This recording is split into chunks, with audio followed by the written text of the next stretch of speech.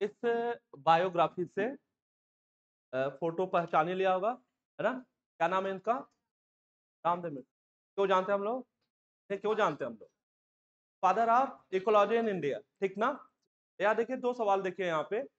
एक यहाँ पे बताया था आपको N C E P C what is N C E P C national committee for environmental planning and coordination ठीक है ना? इसका गठन इनके प्रयासों से हो सका है, इनके प्रयासों से। ठीक है ना? और किस सन में 1972 में। तो 1972 में आपसे कहा था fluid mosaic model Singer Nicolson के द्वारा क्या दूसरा, कोहन और बोयर ने पहला रिकॉम्बिनेंट डीएनए बनाया, ठीक है ना? इसी सन में 1972 में ही, ठीक बात है? और 1972 में ही गठन हुआ है है ना? भारत सरकार के द्वारा एक संस्था का, जिसका नाम है एनसीईपी याद रखिए, ठीक है? 1971 में एमटीपी को लीगलाइज कराया गया। ठीक, ये है 1972 है ना? 1961 में मेलविन केल्विन को नोबेल प्राइज 1962 में किसको? वाटसन और क्रिक को नोबेल प्राइज ठीक है 1963 में, है ना, बैक्टीरियम ई कोलाई में दो एंजाइम का आइसोलेशन किया गया था। एक डीएनए पे मिथाइल लगाता था दूसरा डीएनए को कट करता था। जो डीएनए को कट करता था, उसको बोला जाता था रेस्ट्रिक्शन रेस्ट्रिक्शन इंडोन्यूक्लियस ठीक बात है? चलिए। ओके, इधर आइए। जब 1972 में एनसीईपीसी का गठन हुआ, उसके बाद से ministry of environment and forest बनाया गया, है ना? एक अलग से मिनिस्ट्री बनाई गई भारत सरकार में, का नाम ministry of environment and forest ministry of environment and forest MEF यही हमने शार्ट फॉर्म में नोट किया था। एनसीईपीसी नोट किया था एमईएफ नोट किया था। और ये सन है 1984 इस बायोग्राफी में ये दोनों सन आप याद रखिएगा एनसीईपीसी एमईएफ 1972 एंड 1984 भूलिएगा नहीं, ठीक है? और इनको आप जानते ही हैं फादर कहे जाते हैं इकोलॉजी के। ओके चलिए हाँ। अब यहाँ पे आते हैं। और हम लोग पढ़ने जा रहे हैं इकोलॉजी वाला बेसिक से जरा देख लें। आगे हम पढ़े तो ये बताएँ आपको, क्या कहा था? क्या होता है इकोलॉजी ऑर्गेनिज्म और किसका?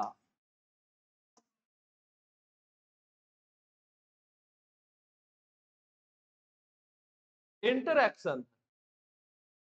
किसका? इन्वायरमेंट का। तो ऑर्गेनिज्म क्या होता है? प्लांट एनिमल माइक्रो इन्वायरमेंट में दो कंपोनेंट है। कौन कौन सा होगा? बिल्कुल सही बायोटिक होगा। और क्या होगा? एबायोटिक होगा। बायोटिक होगा और एबायोटिक होगा। बायोटिक में पुनः क्या हो जाएगा? प्लांट एनिमल माइक्रो भी होगा। यही तो बायोटिक होगा। अरे, जीव तो यही होंगे ना। प्लांट एनिमल माइक्रो और एबायोटिक में आपको याद कराया था। तलाश वाटर ठीक है? क्या क्या हुआ? टेम्परेचर लाइट विंड हो गया एयर मतलब ओके एस फॉर ट्रायल और नेक्स्ट वन वाटर तो ऑर्गेनिज्म और एनवायरमेंट का जो इंटरेक्शन है, उसे इकोलॉजी कहा जाता है। अब मेरी बात ध्यान से सुनिए। ऑर्गेनिज्म हो गया और ये बायोटिक कंपोनेंट हो गया, है ना? तो ये तो लिविंग है। बायोटिक कंपोनेंट भी लिविंग है। तो हम बोल सकते हैं लिविंग और लिविंग का इंटरेक्शन भी क्या इकोलॉजी इतना ही नहीं, ये तो लिविंग है, जबकि ये क्या है? नॉन लिविंग है। तो लिविंग और नॉन लिविंग का इंटरक्शन भी क्या है? इकोलॉजी है। ठीक है? चलिए। अगर आप इकोलॉजिकल स्टडी करना चाह रहे हो ना तो बायोलॉजिकल ऑर्गेनाइजेशन के हर एक लेवल पे कर सकते हो। इकोलॉजिकल स्टडी बायोलॉजिकल ऑर्गेनाइजेशन के हर एक लेवल पे किया जा सकता है। कहाँ से शुरुआत होता है? बायोलॉजिकल ऑर्गेनाइजेशन माइक्रोमोलिक्यूल से। ठीक है ना? तो हर एक लेवल पे आप इकोलॉजी पढ़ सकते हो, इकोलॉजी देख सकते हो, हर एक लेवल पे। आपको देखने को मिल जाएगा। ठीक है? चलिए तो दो बातें बताई हैं यहाँ पे। एक आपको बताया है कि बायोलॉजिकल ऑर्गेनाइजेशन क्या है है ना? बायोलॉजिकल हायरार्ची बताया है। इसी जगह पे आपको इकोलॉजिकल हायरार्ची भी बताया। क्या बताया है? इकोलॉजिकल हायरार्ची भी कहा है। तो इकोलॉजिकल हायरार्ची कहाँ से शुरू होता है? इकोलॉजिकल हायरार्ची शुरू होता है आर्गेनिम से। कहाँ शुरू होता है? आर्गेनिम से। ठीक है? तभी तो इकोलॉजी के अध्ययन, अगर हम इकोलॉजी पढ़ रहे होते हैं तो यूनिट क्या होता है? ऑर्गेनिज्म होता है। क्या होता है? ऑर्गेनिज्म होता है। ठीक है? अब यहाँ पे किसी भी बायोलॉजिकल ऑर्गेनाइजेशन के लेवल पे आप जाएँगे तो दो ही प्रकार के सवाल उठेंगे। है ना? क्यों? और कैसे? हाउ एंड वाई कुछ एग्जांपल आपको याद कराया था, है ना? बुलबुल सिंगिंग का, है ना? कैक्टर जो है थान रखता है। ये सारी बातें आपको यहाँ पे बताई थी, है ना? तो ये आप जानते ही, ठीक है? चलिए। नेक्स्ट पार्ट में आइए और अब आगे इसमें एक बात और। इकोलॉजी बेसिकली वैसे तो ढेर सारे इकोलॉजिकल जो है हरार्ची हैं, आप जानते हैं कहाँ से कहाँ तक शुरू होता है, ठीक है ना?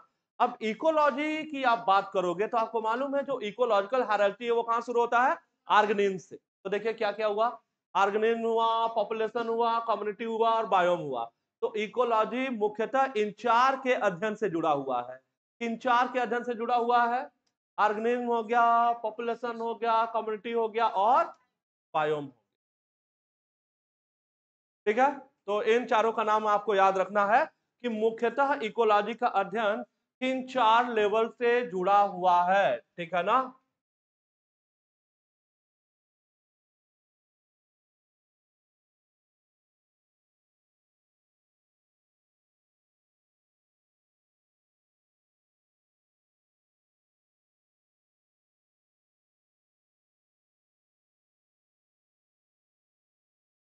ठीक है? तो ऐसे हमने याद किया था ओसीपी ओरल कंट्रासेप्टिव ठीक है, बाद में भी लिखा हुआ ऑर्गेनिज्म हो गया कम्टी हो गया पॉपुलेशन हो गया और और क्या हुआ? बायोम हुआ। ठीक है, याद रखिएगा, मुख्यतः इन चार से जुड़ा हुआ है इकोलॉजी आगे आइए पॉपुलेशन पढ़ेंगे हम लोग। पॉपुलेशन के गुण के बारे में बात करेंगे, क्या एट्रीब्यूट होते हैं? तो अगर आपको याद हो तो हमने दो कॉलम लिया है, एक कॉलम में हमने लिखा है इंडिविजुअल और दूसरे कॉलम में हमने लिखा है पॉपुलेशन है ना? और इनके गुण, चार गुण यहाँ पे, चार एट्रीब्यूट के बारे में बात की है हमने, ठीक है? क्या क्या है बताइए? किन किन एट्रीब्यूट की बात की है? इंडिविजुअल के बर्थ के बारे में बात करते हैं, लेकिन पॉपुलेशन में बर्थ नहीं बता सकते भाई तो क्या बताएँगे? बर्थ रेट बताया जाएगा। इंडिविजुअल में आप किसी एक इंडिविजुअल के डेथ की बात कर सकते हो। पॉपुलेशन में डेथ की बात नहीं कर सकते, क्योंकि पॉपुलेशन में अलग अलग जो ऑर्गेनिज्म है, वो अलग अलग समय पर उसका डेथ होगा। ठीक है? तो यहाँ पे क्या होगा? यहाँ पे होगा डेथ रेट ओके यहाँ पे क्या होगा? यहाँ पे किसी इंडिविजुअल का सेक्स है, आप मेल और फीमेल बता सकते हो। ठीक है? यहाँ पे ऐसा नहीं होता। है यहाँ पे क्या होता है? यहाँ पे होता है सेक्स रेशियो याद है ना? चलिए, यहाँ किसी इंडिविजुअल का आप एज बता सकते हो। अब यहाँ पे पॉपुलेशन का एज कैसे बताओगे? उसमें तो अलग अलग जो इंडिविजुअल है, उसका एज अलग अलग होगा। तो यहाँ पे हम किसकी सहायता लेते हैं? पिरामिड की सहायता लेते हैं, जिसे क्या बोला जाता है? एज पिरामिड कहा जाता है। मेल और फीमेल का एक ही पिरामिड में एज जो है, वो दिखाया जाता है। ठीक है? तो चार एट्रीब्यूट बताइए जल्दी से। चलिए बर्थ रेट और डेथ रेट निकालने का फॉर्मूला तो आपको मालूम ही है है ना? क्या देखा जाता है? चेंज देखा जाता है। कितने का चेंज आया है? चाहे बर्थ हो, चाहे डेथ हो, क्या देखा जाता है? Change upon number of individual in initial population number of मतलब पॉपुलेशन जब शुरू हुआ था तो number of individual initial population में, है ना? वो आ जाएगा। और वो जो भी डेटा आएगा, वो क्या आता है? वो पर कैपिटा आता है। अब आपको मालूम ना, पर कैपिटा का क्या मतलब है? पर हेड। तो फार्मूला क्लियर है ना? क्या फार्मूला है? Change in number. मतलब पॉपुलेशन में, इंडिविजुअल के नंबर में जो बदलाव आया अब मान लो बर्थ होगा तो वो बढ़ा होगा। डेथ हुआ होगा तो घटा होगा। लेकिन कुल मिला के तो चेंज हुआ होगा। तो हम क्या बोल रहे हैं? हम कह रहे हैं, आप क्या देखिए? चेंज देखिए। अपान, जो इनिशियल नंबर है, इंडिविजुअल का पॉपुलेशन। वो क्या बताएगा? वो बर्थ रेट भी बताएगा डेथ रेट भी बताएगा। तो ये है चार एट्रीब्यूट भूलिएगा नहीं है ना? ट्रू एंड फॉल्स में देगा है ना? तो कौन कौन से चार एट्रीब्यूट हैं ये आप जानते ठीक है? अब जानते हो। चलिए। ओके जैसे यहाँ देखिए इसमें सवाल भी है ना? तो टेस्ट में सवाल भी कई बार रिपीट हो, हो रहे होंगे कर ही रहे होंगे। हाँ। इधर देखते हैं हम लोग इसको है ना? ये पिरामिड आप देख लीजिए। इंपॉर्टेंट है आपके लिए तो सबसे पहला जो है आपको क्या दिखाया जा रहा है? एक्सपैंडिंग दूसरा दिखाया जा रहा है स्टेबल तीसरा दिखाया जा रहा है डिक्लाइनिंग ठीक है? चलिए तो क्या यहाँ पे जानना हमको, कैसे सीखना, कैसे इसको पता करना है? ये दिखाते हैं आपको। ध्यान से देखिए यहाँ पे तो तीन एज ग्रुप लेते हैं हम लोग। कौन कौन सा? प्री रिप्रोडक्टिव और क्या है? रिप्रोडक्टिव और क्या है? पोस्ट रिप्रोडक्टिव है ना, आप कितने से कितने एज तक होता है, वो सब कुछ बताया। बताइए भाई प्री रिप्रोडक्टिव कितना? हाँ? कितने साल तक? लेस देन फिफ्टीन ठीक है ना? और फिफ्टीन से लेके फोर्टी फोर ये लेते हैं रिप्रोडक्टिव और फिर फोर्टी फाइव और उसके ऊपर क्या है? पोस्ट रिप्रोडक्टिव लिया जाता है। मेरी बात ध्यान से सुनिएगा, या फाइनली देखिए इधर। ये है सबसे नीचे वाला जो आपको बात दिखाई दे रहा है यहाँ पे, ये किसके लिए लिया गया है? प्री रिप्रोडक्टिव का। तो देखो, जब प्री रिप्रोडक्टिव इंडिविजुअल किससे ज़्यादा है यहाँ पे? रिप्रोडक्टिव वाले से ज़्यादा है, ठीक है? तो अब समय के साथ जो प्री रिप्रोडक्टिव हैं मतलब जो बच्चे हैं, वो समय के साथ किस एज ग्रुप में जाएँगे? रिप्रोडक्टिव में। तो अगर प्री रिप्रोडक्टिव ज़्यादा इंडिविजुअल हैं, ज़्यादा बच्चे हैं किसी पॉपुलेशन में तो वो सब क्या होंगे? सब कुछ समय बाद, कुछ सालों बाद वो कहाँ जाएँगे? वो सब चले जाएँगे रिप्रोडक्टिव एज में। है ना? तो फिर ढेर सारा प्रोजनी इंडिविजुअल को रिप्रोड्यूस कर देंगे। तो ऐसे पॉपुलेशन को क्या कहा जाता है? एक्सपेंडिंग तो दो बातें क्या ध्यान देनी है? कि प्री रिप्रोडक्टिव का नंबर जो है वो रिप्रोडक्टिव से ज़्यादा है। अगर ऐसा है ना तो मेरी बात ध्यान से सुनो D N by D T क्या हो जाएगा?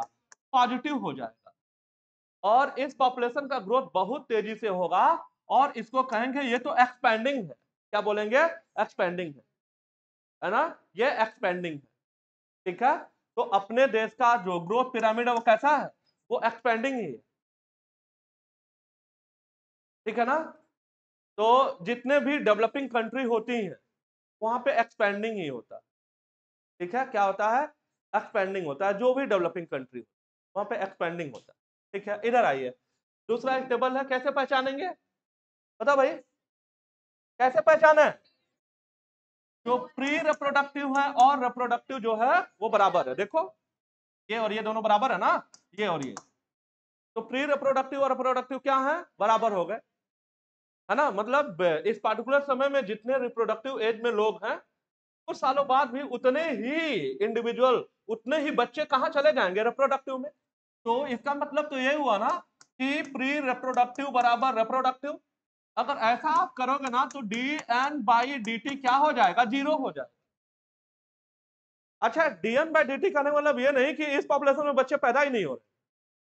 इसका ये मतलब नहीं है। इसका मतलब ये है कि यहाँ पे जितना रिप्रोडक्टिव में है, उतना ही प्री रिप्रोडक्टिव में है तो नंबर जो है ना, वो कांस्टेंट बना होगा। तो इसको क्या बोला जाता है? स्टेबल कहा जाता है। पॉपुलेशन क्या बोला जाता है? स्टेबल कहा जाता है। स्टेबल है ये। वही तीसरा वाला देखिए, तीसरे वाले में आप क्या देख रहे हो? जो प्री रिप्रोडक्टिव है, वो रिप्रोडक्टिव से क्या है? कम है।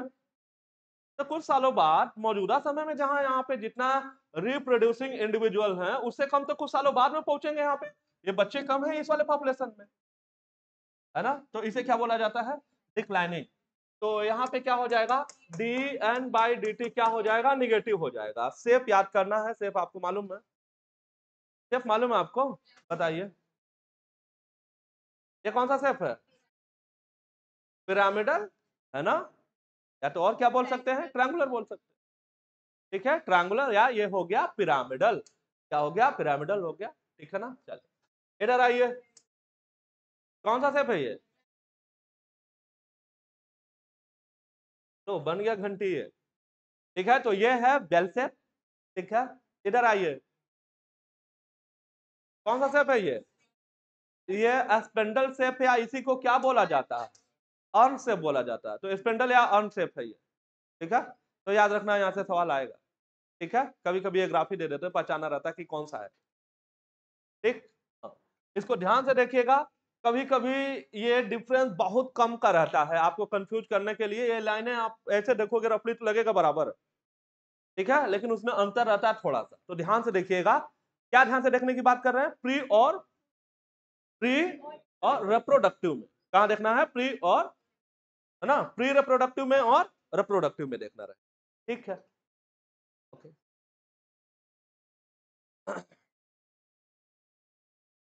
चले भाई। ओके पॉपुलेशन डेंसिटी को लिखा जाता है कैपिटल एन से। है ना? पॉपुलेशन डेंसिटी को किससे लिखा जाता है? कैपिटल एन से लिखा जाता है। ठीक है ना? चलिए। तो हमें बताइए कि मोस्ट अप्रोप्रिएट मेजर है ना पॉपुलेशन डेंसिटी मापने का सबसे सही तरीका क्या? है पॉपुलेशन में जो टोटल इंडिविजुअल है, उसको काउंट कर लिया जाए। है ना? तो क्या बोला जाता है उसे कि जो मोस्ट अप्रोप्रिएट मेजर है पॉपुलेशन डेंसिटी का, वो है total number total number count करिए ये सबसे सही तरीका है। लेकिन कभी कभी ये क्या होगा? ये बिना मतलब की बात होगी। अगर आप ऐसा कर रहे हो तो बेवकूफ़ी करेंगे। और कभी कभी इतना डिफ़िकल्ट होगा कि हम गिन ही नहीं पाएँगे। तो वहाँ पे हम हमें अल्टरनेटिव मेथड ढूँढने होंगे। जैसे एग्जांपल देखते हैं यहाँ पे, है ना? एक फ़ोटो यहीं पे बनाया था, आपको याद होगा? है ना? एक बड़े विशालकाय कैनोपी वाला बरगद का पेड़ है और वहीं 200 पार्थिनियम के घास है ना? 200 कैरेट ग्रास के है ना? एक फ़ोटो बनाया होगा, ठीक? तो आप उसको देखते होंगे, तुरंत आपको याद आ जाता होगा तो एक बड़ा विशालकाय कनोपी वाला बरगद का पेड़ है और वही पास में 200 पार्थिनियम के घास है। ठीक है, आप खुद ही बताओ, क्या हम कह दें कि पार्थिनियम की पॉपुलेशन डेंसिटी ज़्यादा है? बरगद कितना विशालकाय है, बुरा मान जाएगा वो, ठीक है ना? तो ऐसे केस में क्या देखा जाएगा? हाँ? परसेंटेज कवर, क्या देखा जाएगा? परसेंटेज कवर या बायो है ना? याद रखिएगा। तो यहाँ पे टोटल नंबर मीनिंगलेस है। टोटल नंबर क्या है? मीनिंगलेस है। तो एक तो ये है, ठीक है? अगला कौन सा बताया भाई? इसमें नेक्स्ट कौन सा लिया था हमने? इसमें अगला एग्जांपल कौन सा लिया है? हम्म। हाँ किसी पांड में, किसी लेक में नंबर ऑफ़ फिशेज जानना हो। इसके अलावा बताइए। है ना, किसी पेट्री डिश में बैक्टीरिया का ग्रोथ जानना हो तो वहाँ पे क्या मेथड लिया जाता है? क्या लिया जाता है? रिलेटिव डेंसिटी क्या लिया जाता है? रिलेटिव डेंसिटी लिया जाता है। ठीक है ना तो कभी कभी ये मीनिंगलेस है और कभी कभी बहुत डिफ़िकल्ट है। तो डिफ़िकल्ट मीनिंगलेस वाला एग्जांपल कौन सा दिखाया? ये वाला, बरगद वाला। ठीक है डिफ़िकल्ट वाला कौन सा दिखाया? अब पेट्री डिश में बैक्टीरिया गिनने बैठ जाओ, नहीं गिन पाओगे मर मरा जाओगे ना मिलियंस में होता है इतने छोटे जगह पे। ठीक बात है? और दूसरा कौन सा है? हाँ किसी पान में, किसी लेक में अगर आप फिजिट का नंबर काउंट करना डिफ़िकल्ट है है ना? सारे फिजिट को निकालना थोड़े ना पॉसिबल ठीक ना? तो ऐसे केस में रिलेटिव डेंसिटी क्या था? रिलेटिव डेंसिटी था, ठीक है, याद रखेंगे। इसके अलावा इधर आइए ये सब तो डायरेक्ट मेथड था, एक इनडायरेक्ट मेथड है। जैसे नेशनल पार्क में अगर आप टाइगर सेंसर सेंसर मतलब गणना तो अगर आप बाघों को गिनना चाह रहे हो तो बाघों को देखना नहीं है। मतलब उसको देख के थोड़े ना काउंट कर रहे हैं कि एक बाघ, दो बाघ, ऐसे ऐसे थोड़े ना कर रहे हैं। तो वहाँ पे क्या किया जाता है? वहाँ पे फिकल पैलेट देखा जाता है और पग मार्क तो पद चिन्ह देखे जाते हैं और फिकल पैलेट से पता लगाया जाता है नंबर काउंट किया जाता है। तो ये डायरेक्ट नहीं है, ये कैसा मेथड है? ये इनडायरेक्ट मेथड ठीक है ना? तो जल्दी से आप रिवाइज करिए, दोहराइए। डॉक्टर बनिए, नहीं तो आप फिकल पैलेट गिनोगे जाकर नेशनल पार्क चलिए, याद रहेगा ना? तो नेशनल पार्क में या टाइगर रिज़र्व में अगर टाइगर की गणना करना चाह रहे हो तो दो बातें हैं, या तो पक्षिन्ह के पता करिए या दूसरा काम बता दिया, आप उसके फिकल पलट गिनिए। ठीक है, चलिए। आगे आइए। ठीक, ऐसे देखिए, ये भी टेस्ट में कई बार ये सवाल दे चुके हैं, ये नंबर बार बार बदल रहे होंगे, लेकिन सवाल नहीं बदल रहा बदल रहा। तो ये है पॉपुलेशन डेंसिटी। चलो देखो नेटेलिटी या बर्थ, इसको बढ़ाएगा, ज़ाहिर सी बात है ना?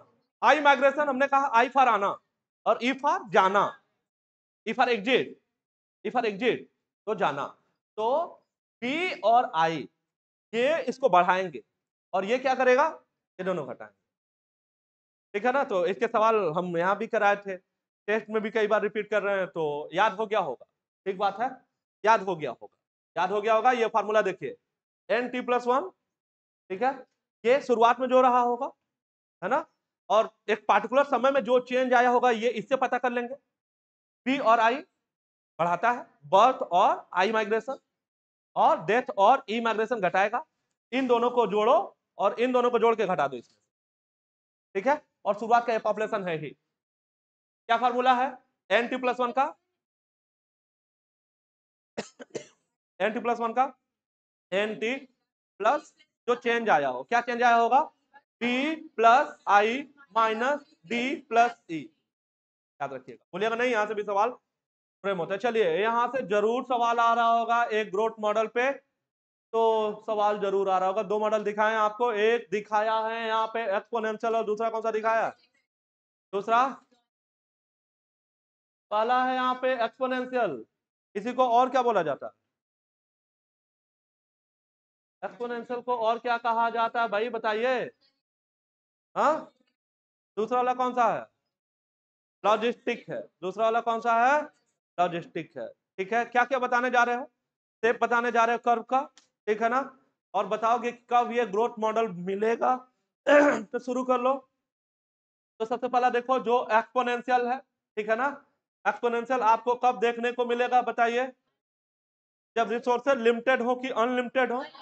रिसोर्सेज अनलिमिटेड हो तो आपको एक्सपोनेंशियल ग्रोथ मॉडल देखने को मिल जाएगा। एक्सपोनेंशियल या जियोमेट्रिक मॉडल यही जियोमेट्रिक है भाई। तो एक्सपोनेंशियल या जियोमेट्रिक मॉडल आपको देखने को मिल जाएगा जब रिसोर्सेज क्या हो। जब रिसोर्सेज की कोई कमी ना हो तो मतलब रिसोर्सेज क्या हो? अनलिमिटेड हो। कैसा शेप देखने को मिलता है? जे सेप का। कब देखने को मिलेगा क्या फार्मूला है डिफरेंशियल इक्वेशन में? D N by D T बराबर स्मॉल आर कैपिटल एन ठीक बात है? What is small R what is small R पार्टिक potential कैसे निकालते हैं? B minus D what is B तो कौन सा बी है? Capital B minus capital D की small B minus small D small B minus क्या होता है? ये स्मॉल बी और डी बर्थ और डेथ का रेट है ये. ये रेट है. ठीक है ना? तो ये हो गया आर ठीक बात है? तो D N by D T बराबर आर एन ये इसका डिफरेंशियल इक्वेशन है। इसका इंटीग्रल इक्वेशन बताइए। एन टी बराबर एन नॉट प्लस ई की power R T minus E की पावर आर टी। हाँ फिर अपान ई की पावर आर टी। तो मल्टीप्लाई ठीक है? तो क्या होगा? एन टी बराबर एन नॉट और कुछ नहीं बोलना है तो डॉट है मतलब मल्टीप्लाइड है है ना? ई की पावर आर टी ठीक है? तो इधर देखिए, इसमें सारी बातें आप जानते ही हो। ये तो फाइनल पॉपुलेशन डेंसिटी है, ये क्या है? इनिशियल पॉपुलेशन डेंसिटी है। आर क्या है?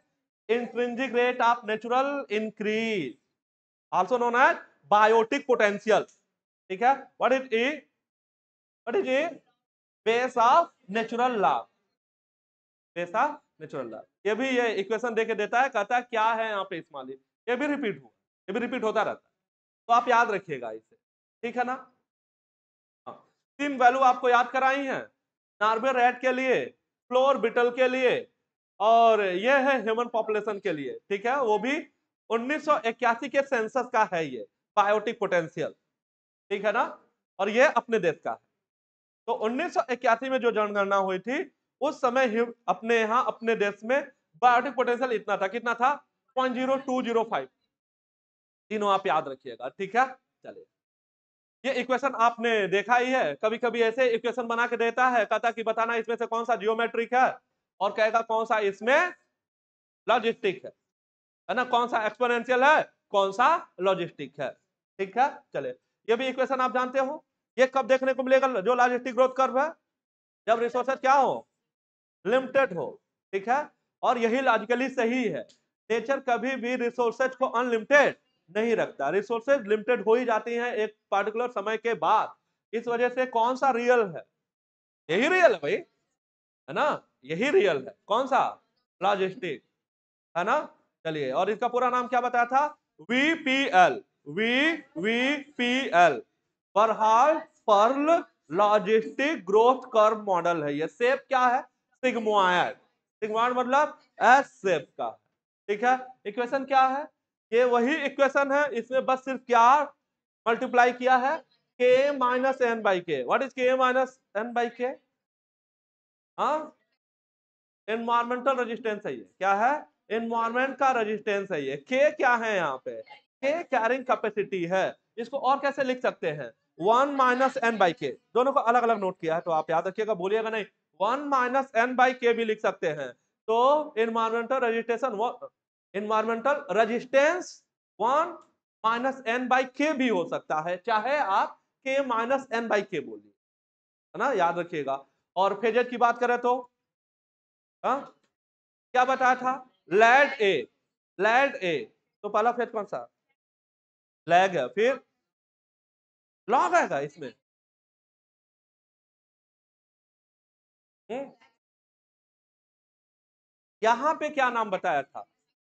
तो ये ग्रोथ मॉडल में आप सही बता रहे हो। पहले लैग आता है लॉग या एक्सपोनेंशियल आता है, फिर ए सिम्टोट हो जाता है।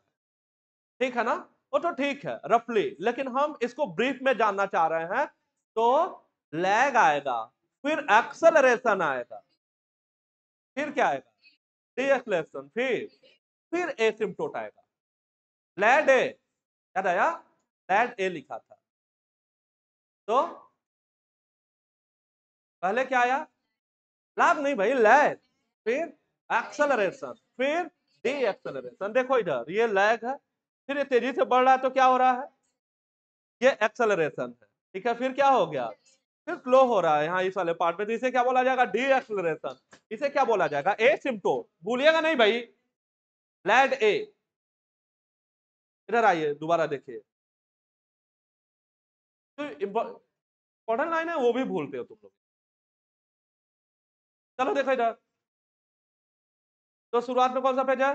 लैग फॉलोड बाई एक्सलरेशन फिर डी एक्सलरेशन एंड फाइनली तो L A D lad lad और जब कांस्टेंट हो गया तो फिर ए तो सवाल भी कराए ठीक है? इन ग्रोथ मॉडल पे सवाल कराए हैं तो उन क्वेश्चन को एक बार दोहरा लीजिएगा। पता क्या कोई आई जाए ठीक ना? चलिए याद रखिएगा इसके। चल भाई, यहाँ से पॉपुलेशन इंटरेक्शन से दो सवाल कम से कम आएँगे। ठीक है? कम से कम दो सवाल आ रहा होगा यहाँ से। बहुत इंपॉर्टेंट है पॉपुलेशन का जो इंटरेक्शन है। ठीक है? सबसे पहले सिंबल से शुरू कर लो। प्लस प्लस सिंबल का क्या मतलब है? प्लस प्लस क्या होता है? मतलब ऐसा इंटरेक्शन है कम्युनिटी का पॉपुलेशन का, जहाँ दोनों इंटरेक्टिंग पॉपुलेशन के लिए लाभकारी है। ना? दोनों के लिए बेनिफिशियल है तो क्या बोला जाएगा? प्लस प्लस कैसा? किसमें ये, किस इंटरेक्शन में देखने को मिलेगा ये? हाँ मिचलेज में। मिचलेज में आल्सो नोन है सिम्बायोसिस वहाँ देखने को मिलेगा। माइनस माइनस का क्या मतलब है? माइनस माइनस का क्या मतलब है? दोनों इंटरेक्टिंग पॉपुलेशन के लिए ये फ़ायदेमंद नहीं है। दोनों के लिए डेट्रीमेंटल है। वाट डेट्रीमेंटल हानिकारक। दोनों को नुकसान पहुँचाने वाला है। ओके तो कहाँ होगा माइनस माइनस कहीं नहीं होता माइनस माइनस कहा होता कंपटीशन में हो। ठीक है ना? प्लस माइनस एक के लिए बेनिफिशियल और एक के लिए डेट्रीमेंटल कहा देखने को मिलेगा? होस्ट और पैरासाइट में देखने को मिलेगा। प्रे और प्रीडेशन में देखने को मिलेगा। बस कुछ और? नहीं प्लस और ज़ीरो एक के लिए बेनिफिशियल दूसरे के लिए ना ही फ़ायदा ना ही नुकसान। एक के लिए बेनिफिशियल दूसरे के लिए न्यूट्रल बोला जाता है कॉमन सेलेज क्या बोला जाता है? कॉमन सेलेज जिसको फ़ायदा मिलता है, उसे क्या बोला जाता है? कॉमन सेलेज में ज़ीरो किसके लिए है और प्लस किसके लिए है? ज़ीरो होस्ट के लिए है और प्लस कामेंजल के लिए। ठीक है, कौन सा और बचा? और कौन सा बचा? क्या है साइन? माइनस और ज़ीरो। ये क्या है? ये है एमएनसलेज क्या है? ये एमएनसलेज ठीक बात है? चलिए। हाँ।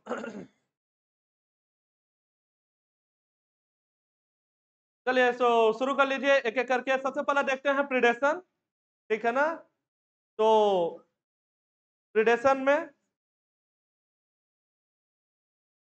प्लस और माइनस किसके लिए प्लस प्रीडेटर के लिए।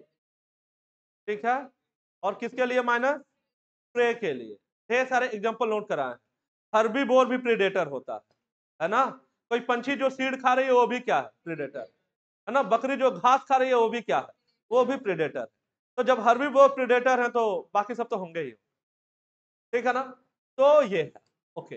इस सवालों को जल्दी से ध्यान से देखते हैं और ध्यान से सुनिए। चलिए। नेचर का क्या तरीका होता है? एनर्जी को अगले ट्रॉपिक लेवल पे भेजने के लिए।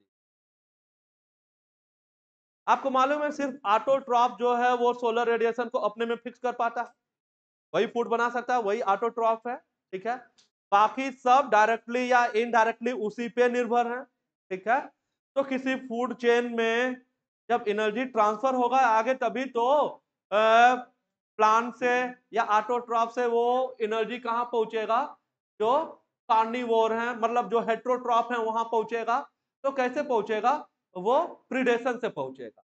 तो नेचर का क्या तरीका होता है अगले ट्रॉपिक लेवल पे एनर्जी ट्रांसमिट करने का? प्रीडेशन कई बार टेस्ट में रिपीट कर चुके हैं, ये लाइन तो ये नेचर्स वे है। ये प्रकृति का तरीका है। जो हायर ट्रॉपिक लेवल पे एनर्जी अगर आप ट्रांसफ़र करना चाह रहे हो तो कहाँ से? प्लांट से। डेट मीन ऑटोट्रॉप से। एनर्जी कहाँ फिक्स हुई है? ऑटोट्रॉप में फिक्स हुई है। उसको कहाँ जाना है? हेट्रोट्रॉप में जाना है। प्रोड्यूसर से कहाँ जाना है? कंज्यूमर में जाना है। कैसे जाएगा? प्रिडेशन से जाएगा। तो ये नेचर का तरीका। ठीक है? चलिए। ओके। तो एक तो आपको बता दिया जो एनर्जी का ट्रांसफ़र है। इसके अलावा जो प्रिडेटर है, वो प्रे के पॉपुलेशन को क्या करता है? कंट्रोल में रखता क्या करता है? कंट्रोल में रखता ठीक है ना? कंट्रोल में रखता है। अगर ऐसा नहीं करेगा ना तो क्या हो जाएगा? जो प्रे की स्पीसीज है, उनका विलुप्तिकरण हो जाएगा। ठीक है? क्यों? क्योंकि प्रे का नंबर इतना ज़्यादा हो जाएगा कि उनका आपस में ही रिसोर्सेज के लिए कंपटीशन बढ़ जाएगा। है ना? और इसका एग्जांपल हमने पढ़ा है। है ना? रॉकी इंटरटाइडल जोन में एक एक प्रीडेटर है, जिसका क्या नाम है? पिजेस्टर ठीक है ना? और हमने क्या किया था? वहाँ से जब पिजेस्टर को निकाल दिया था आइसोलेट कर दिया था तो एक साल के अंदर, दस से ज़्यादा, दस से ज़्यादा स्पीसीज की बात कर रहे हैं नंबर की बात नहीं कर रहे हैं। दस से ज़्यादा स्पीसीज एक साल में विलुप्त हो गई थी वहाँ से। तो इसे क्या पता लगा? इसे यह पता लगा कि प्रिडेशन किसी जियोग्राफिकल एरिया में प्लांट किसी जियोग्राफिकल एरिया में डाइवर्सिटी को क्या करता है? प्रोटेक्ट करता है। ठीक है? तो डाइवर्सिटी को मेंटेन करने का कार्य कौन करता है? किसी जियोग्राफिकल एरिया में। क्या आंसर होगा? प्रिडेशन होगा। क्या होगा? प्रिडेशन होगा। ठीक है? चलिए प्रिडेशन होगा। आगे आ रहा होगा अभी वो लाइन चलिए, एक ये भी सवाल आप, आपको दिखाया कि कोई एक्जोटिक स्पीसीज किसी जियोग्राफिकल एरिया में तबाही तब मचा पाता है जब वहाँ पे नेचुरल प्रीडेटर न हो। ना? जैसे ये देखिए नाइनटीन के आसपास की बात है ऑस्ट्रेलिया में, है ना? जो रेगिस्तान था, वहाँ पे एक कैक्टस लगाया गया, है ना? कांटेदार कैक्टस लगाया गया और देखते ही देखते वो वहाँ पूरे रैन लैंड पे, पूरे जो बंजर जगह थी, वहाँ पे एकदम पूरा तबाही मचा कर रख दिया। इतना तेज़ी से स्प्रेड हो गया, है ना? कौन? ये कैक्टस तो फिर क्या किया गया? फाइनली उस कैक्टस के इन्वेजन को, उसके फैलाव को रोकने के लिए एक इंसेक्ट क्या होता है? इंसेक्ट होता है। एक इंसेक्ट को जानबूझ के इंट्रोड्यूस कराया गया। ना फिर ये इंसेक्ट क्या किए? काट काट के खा लिए। ठीक है? तो कहने का मतलब जब हम प्रिडेटर ला दिए तो पॉपुलेशन प्रे का पॉपुलेशन क्या हो जाएगा? कंट्रोल हो जाएगा कंट्रोल हो जाएगा, ठीक है? जीव से जीव का कंट्रोल क्या बोला जाता है? बायो कंट्रोल जैसे गंबूसिया फ़िश के बारे में बात किया था, वो भी क्या है? बायो कंट्रोल का एग्ज़ाम्पल है। बायो कंट्रोल का एग्ज़ाम्पल है। चलिए भाई, इस इस स्टेटमेंट के बारे में बात कर रहा था मैं, देखो। प्रीडेटर हेल्प करता है मेंटेन करता है किसी कम्युनिटी में स्पेसी डाइवर्सिटी है ना? चलिए, एक एग्जांपल देखते हैं और इंपॉर्टेंट है। ये देखिए, एक रॉकी इंटरटाइडल कम्युनिटी है। अमेरिकन पैसिफिक कोस्ट का वहाँ पे एक प्रीडेटर स्टार फ़िश है। उस स्टार फ़िश का नाम है पिजास्टर क्या नाम है? और ये एक शिकारी। ठीक है ना?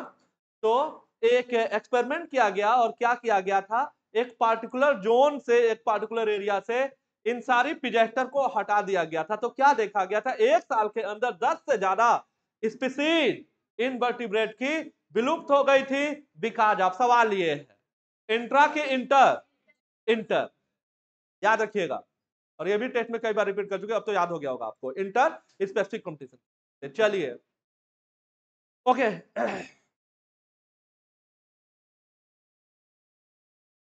हाँ ये देखिए। ये भी बताया है कि प्रेडेटर जो है वो दूरदर्शी होता है। क्या होता है? प्रूडेंट होता है। वो कभी भी अपने प्रे का ओवर एक्सप्लॉटेशन नहीं करता अति दोहन नहीं करता। ये नहीं कि भूख है, एक ही मार दिया, सौ को। ऐसा नहीं करता। बहुत होशियार, दूर की सोचता ठीक है? तो प्रूडेंट है, दूरदर्शी है।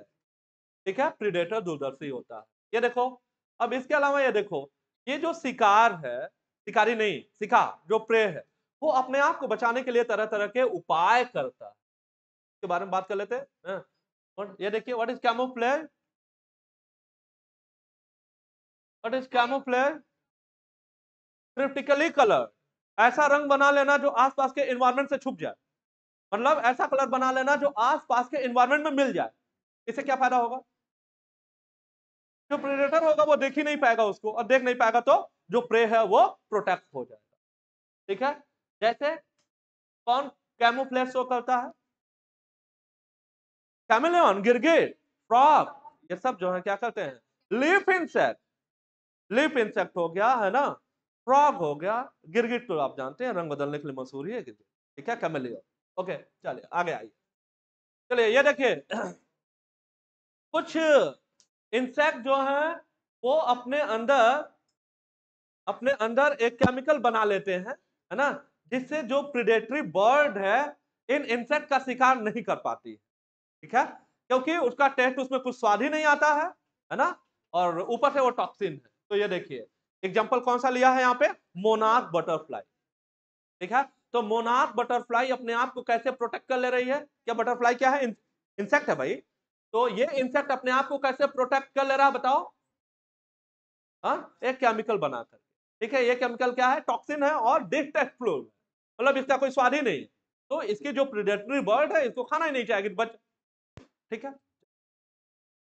ओके हाँ ये देखिए ट्रू एंड फॉल्स के लिए लगभग 25 परसेंट जो सभी इंसेक्ट्स हैं तो सभी इंसेक्ट में से लगभग 25 परसेंट किस पे फ़ीड करते हैं?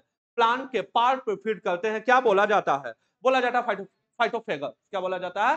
फाइटोफेगस नाम दिया जाता है। फाइटोफेगस बोला ठीक है।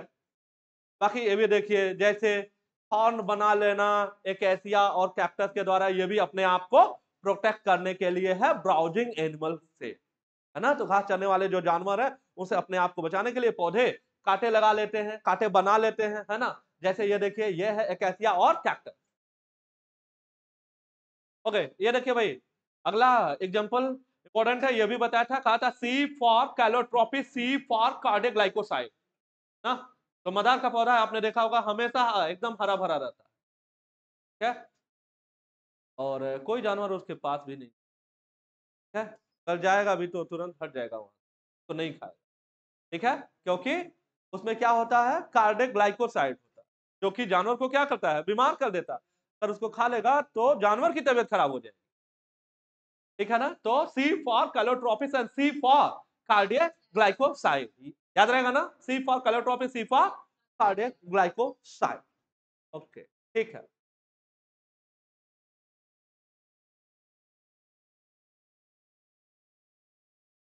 चलो भाई कंपटीशन में कौन सा साइन होगा?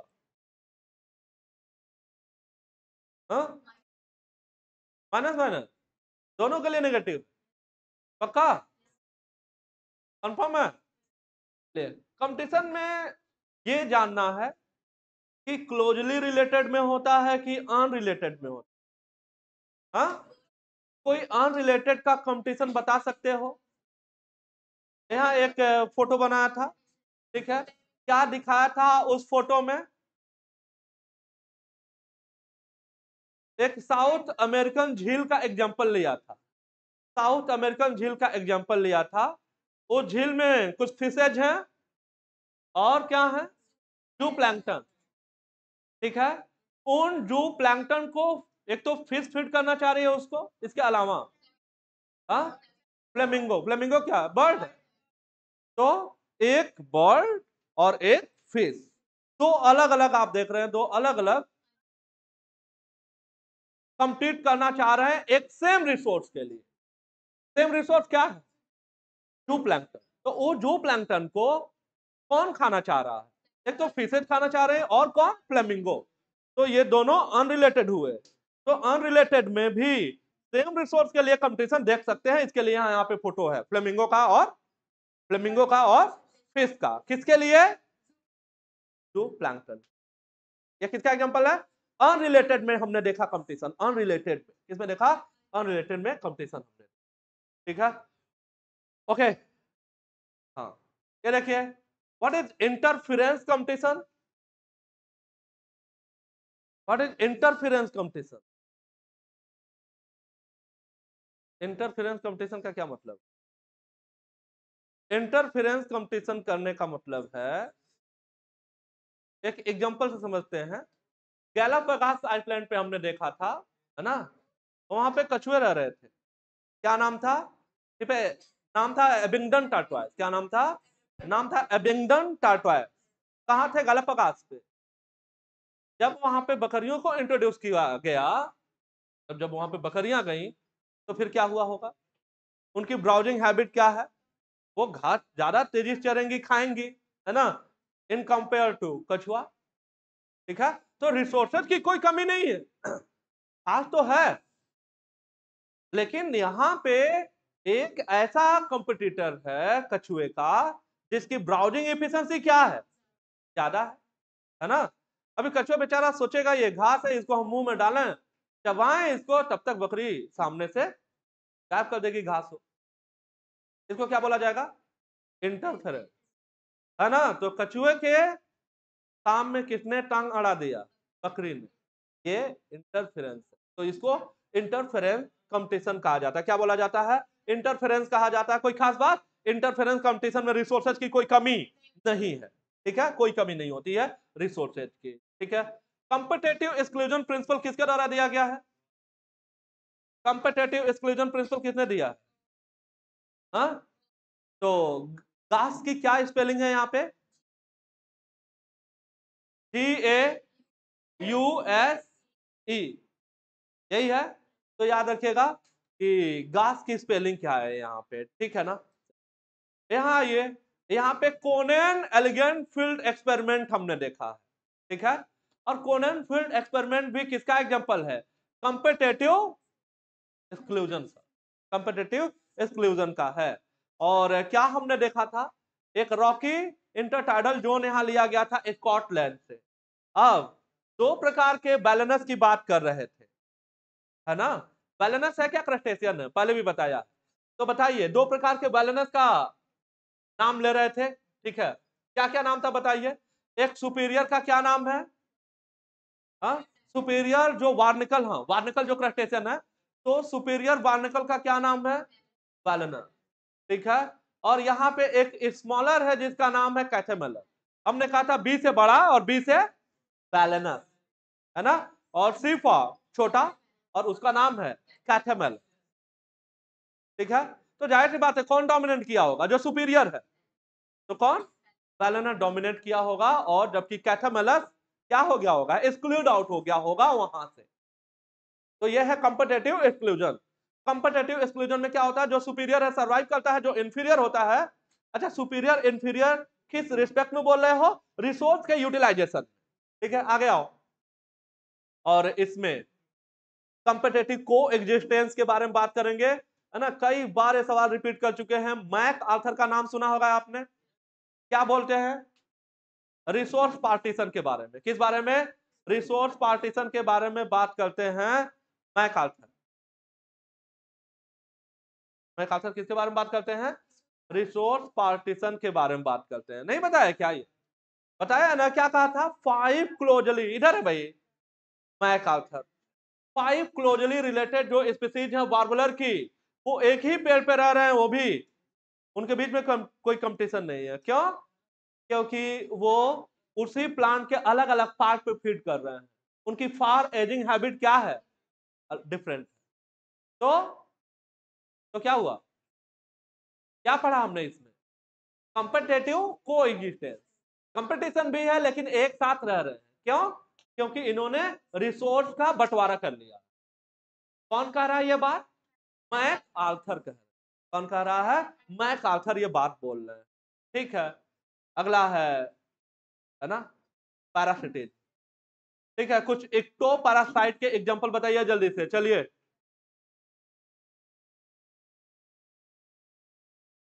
अच्छा पैरासिटिन के एग्ज़ाम्पल बताओ कौन कौन सा पढ़ा है आपने? यहीं पे एक एग्ज़ाम्पल बताया था, एक तो पैरासाइट के एग्ज़ाम्पल लिए थे। हाँ? लाइसन ह्यूमन जुआ चिलर आदमी पे, है ना? और टिक अंडा है ना? देसी कुकुर देखा होगा तुम लोगों ने टिक देखा होगा ज़रूर। ठीक है ना? अगला। कॉपी मैरिन फिशेज तीन हो गया। और बताओ। कसकटा, है ना, ये प्लांट है पैरासिटिक प्लांट है। कसकटा कहाँ? हैज़ प्लांट पे झाड़ी नुमा पौधों पे खसखटा चार एग्ज़ाम्पल हो गए। याद रखिएगा मैचिंग आलम के लिए। ठीक है।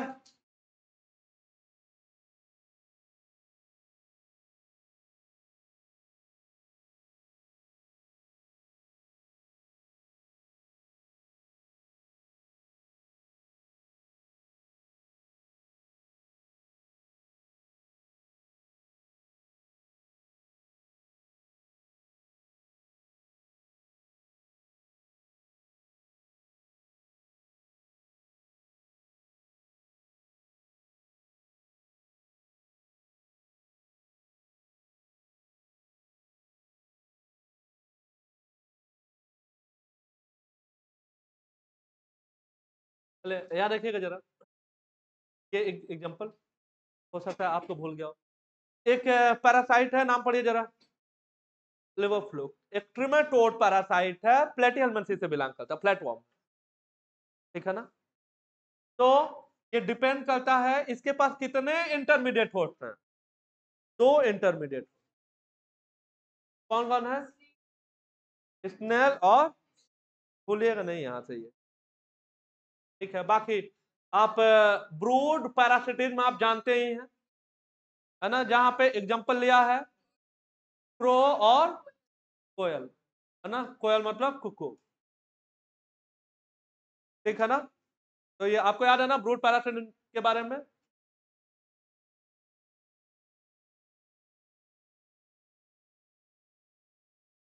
आगे आ जाइए और कॉमन सेलिन के एग्जांपल बताइए। जिसके लिए बेनिफिशियल उसको बोला जाता है कामंजल जिसके लिए न्यूट्रल है उसको बोला जाता है होर एग्ज़ाम्पल बताओ भाई, जल्दी से बताओ. कॉमन स्लेन का एग्ज़ाम्पल बताइए जल्दी से. क्या क्या बताने जा रहे हो?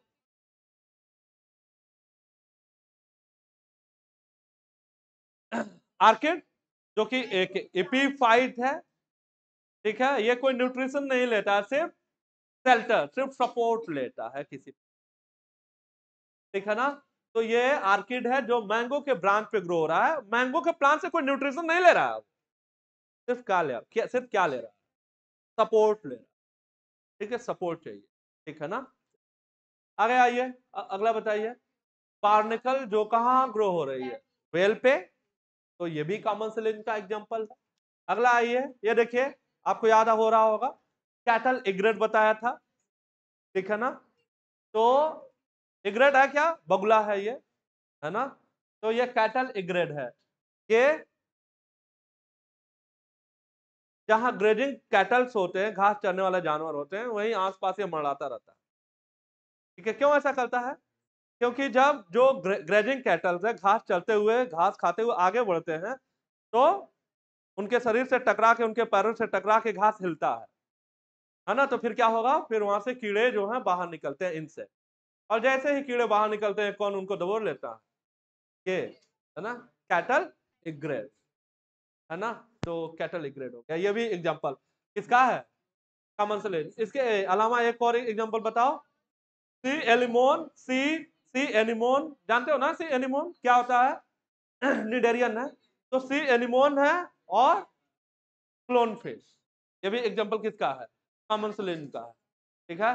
तो यहाँ पे मैचिंग कॉलम में क्या करते हैं? एग्ज़ाम्पल लिख देते हैं और कौन सा इंट्रैक्शन है उससे मैच कराने के लिए देते हैं।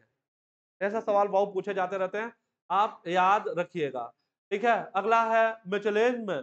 और मिचलेज में लाइकेन की बात कर लो माइक्रोराजा की बात कर लो प्लांट और पॉलिनेटर के बारे में बात कर लो। सबसे पहले लाइकेन की बात कर लो। तो लाइकेन कैसे बनता है? फंगस और एल्गी जब एल्गी की बात होगी तो एल्गी तो होंगे ही होंगे।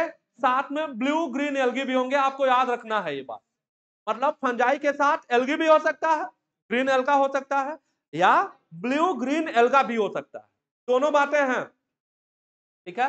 तो बताओ भाई, लाइकेन म्यूचुअलिस्टिक रिलेशनशिप है फंगस के साथ? फंगस के साथ फोटोसिंथेटिक एल्गा हो सकता है, या साइनोबैक्टीरिया मतलब ब्लू ग्रीन एल्गा भी हो सकता है।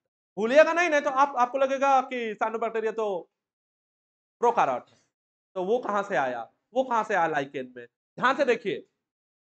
लाइकेन के साथ या तो सिंपल फोटोसिंथेटिक एल्गी होगा। एल्गी तो प्लांट है। इसके अलावा ये बैक्टीरिया भी हो सकता है साइनोबैक्टीरिया मालूम है ना आपको साइनोबैक्टीरिया ऑटोट्रॉप होता है? हाँ ना? ये आपको याद रखना अगला है भाई माइकोराइजा। माइकोराइजा हमने पूरा पढ़ लिया है माइक्रोव में अभी पढ़ा था। ग्लोमा जो है माइक्रोराइजा बनाता है। और माइक्रोराइजा होता क्या है? फंगल फिलामेंट का एसोसिएशन होता है root of higher plant. Root of higher plant के साथ फंगल फिलामेंट का एसोसिएशन माइक्रोराइजा कहा जाता है। अब, इसको क्या फ़ायदा है? आपने बहुत याद कर लिया है। अभी कल ही बताया था। क्या फ़ायदा है हायर प्लांट को? एक तो फास्फोरस मिल रहा है। मतलब मिनरल वाटर तो मिल ही रहा है। रूट बाउंड पैथोजन से रेजिस्टेंस हो जा रहा है। राट और सैलिनिटी से भी रेजिस्टेंस हो जा रहा है। और फंगस को बस एक ही फ़ायदा होता है, वो फोटोसिंथेसिस नहीं कर पाता है तो उसे क्या मिल जाएगा? कार्बोहाइड्रेट मिल जाएगा। ठीक बात है ग्लोमस जीनस का नाम याद कराया था ग्लोमस ठीक है? चले हाँ इधर आइए। यहाँ पे प्लांट और पॉलिनेटर का जो रिलेशनशिप है, वो भी हमने पढ़ा ठीक है? चले ये ये फ़ोटो क्या दिखा रहा है?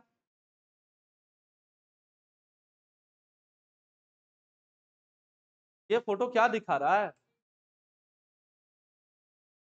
ये मिचुलिन दिखा रहा है किसके बीच का? हाँ? इंसेक्ट का और एक प्लांट का। कौन है इंसेक्ट? वैस्प। वैस्प। और प्लांट कौन सा है? फिग। ठीक है? तो मैं ये जानना चाह रहा हूँ कि इंसेक्ट का क्या फ़ायदा है और इस प्लांट का क्या फ़ायदा है? प्लांट का सीधा सा फ़ायदा है पॉलिनेशन हो गया। पॉलिनेट हो जाएगा। प्लांट गेट पॉलिनेटेड तो सीधा फ़ायदा है। हाँ। वैक्स का क्या फ़ायदा ना अंडे देने के लिए जो फीमेल वैक्स है, उसको अंडे देने के लिए सुटेबल प्लेस पहली बात। दूसरी बात डेवलपिंग लार्वा के लिए लार्वा को फ़ीड करने के लिए जो डेवलपिंग सीड है वो तो साइट मिल गया और न्यूट्रिशन मिल गया। भूलिएगा नहीं इंपॉर्टेंट है ये, ठीक है? चलिए, इसके अलावा ये देखिए तो ये है धोखेबाज प्लांट नाम याद है? क्या नाम है इसका? हाँ मेडिटेरियन आर्किड है। क्या नाम है? ऑफरिस नाम है इसका। ठीक है? क्या नाम है? ऑफरिस नाम। है ना? दूसरे जो प्लांट है, वो पॉलिनेटर को इनाम देते हैं। ना क्या देते हैं? नेक्टर और पॉलन लेकिन ये पौधा है जो पॉलिनेटर को धोखा देता है। ठीक है? क्या नाम है इसका? ऑफरिस नाम ठीक है? ऑफरिस नाम है। तो याद रखिएगा। ठीक है ना? अभी शायद टेस्ट में, दो टेस्ट पहले रिपीट किया था इसको। ऑफरिस नाम है इसका। क्या नाम है? ऑफरिस मेडिटेरियन आर्किड है ये।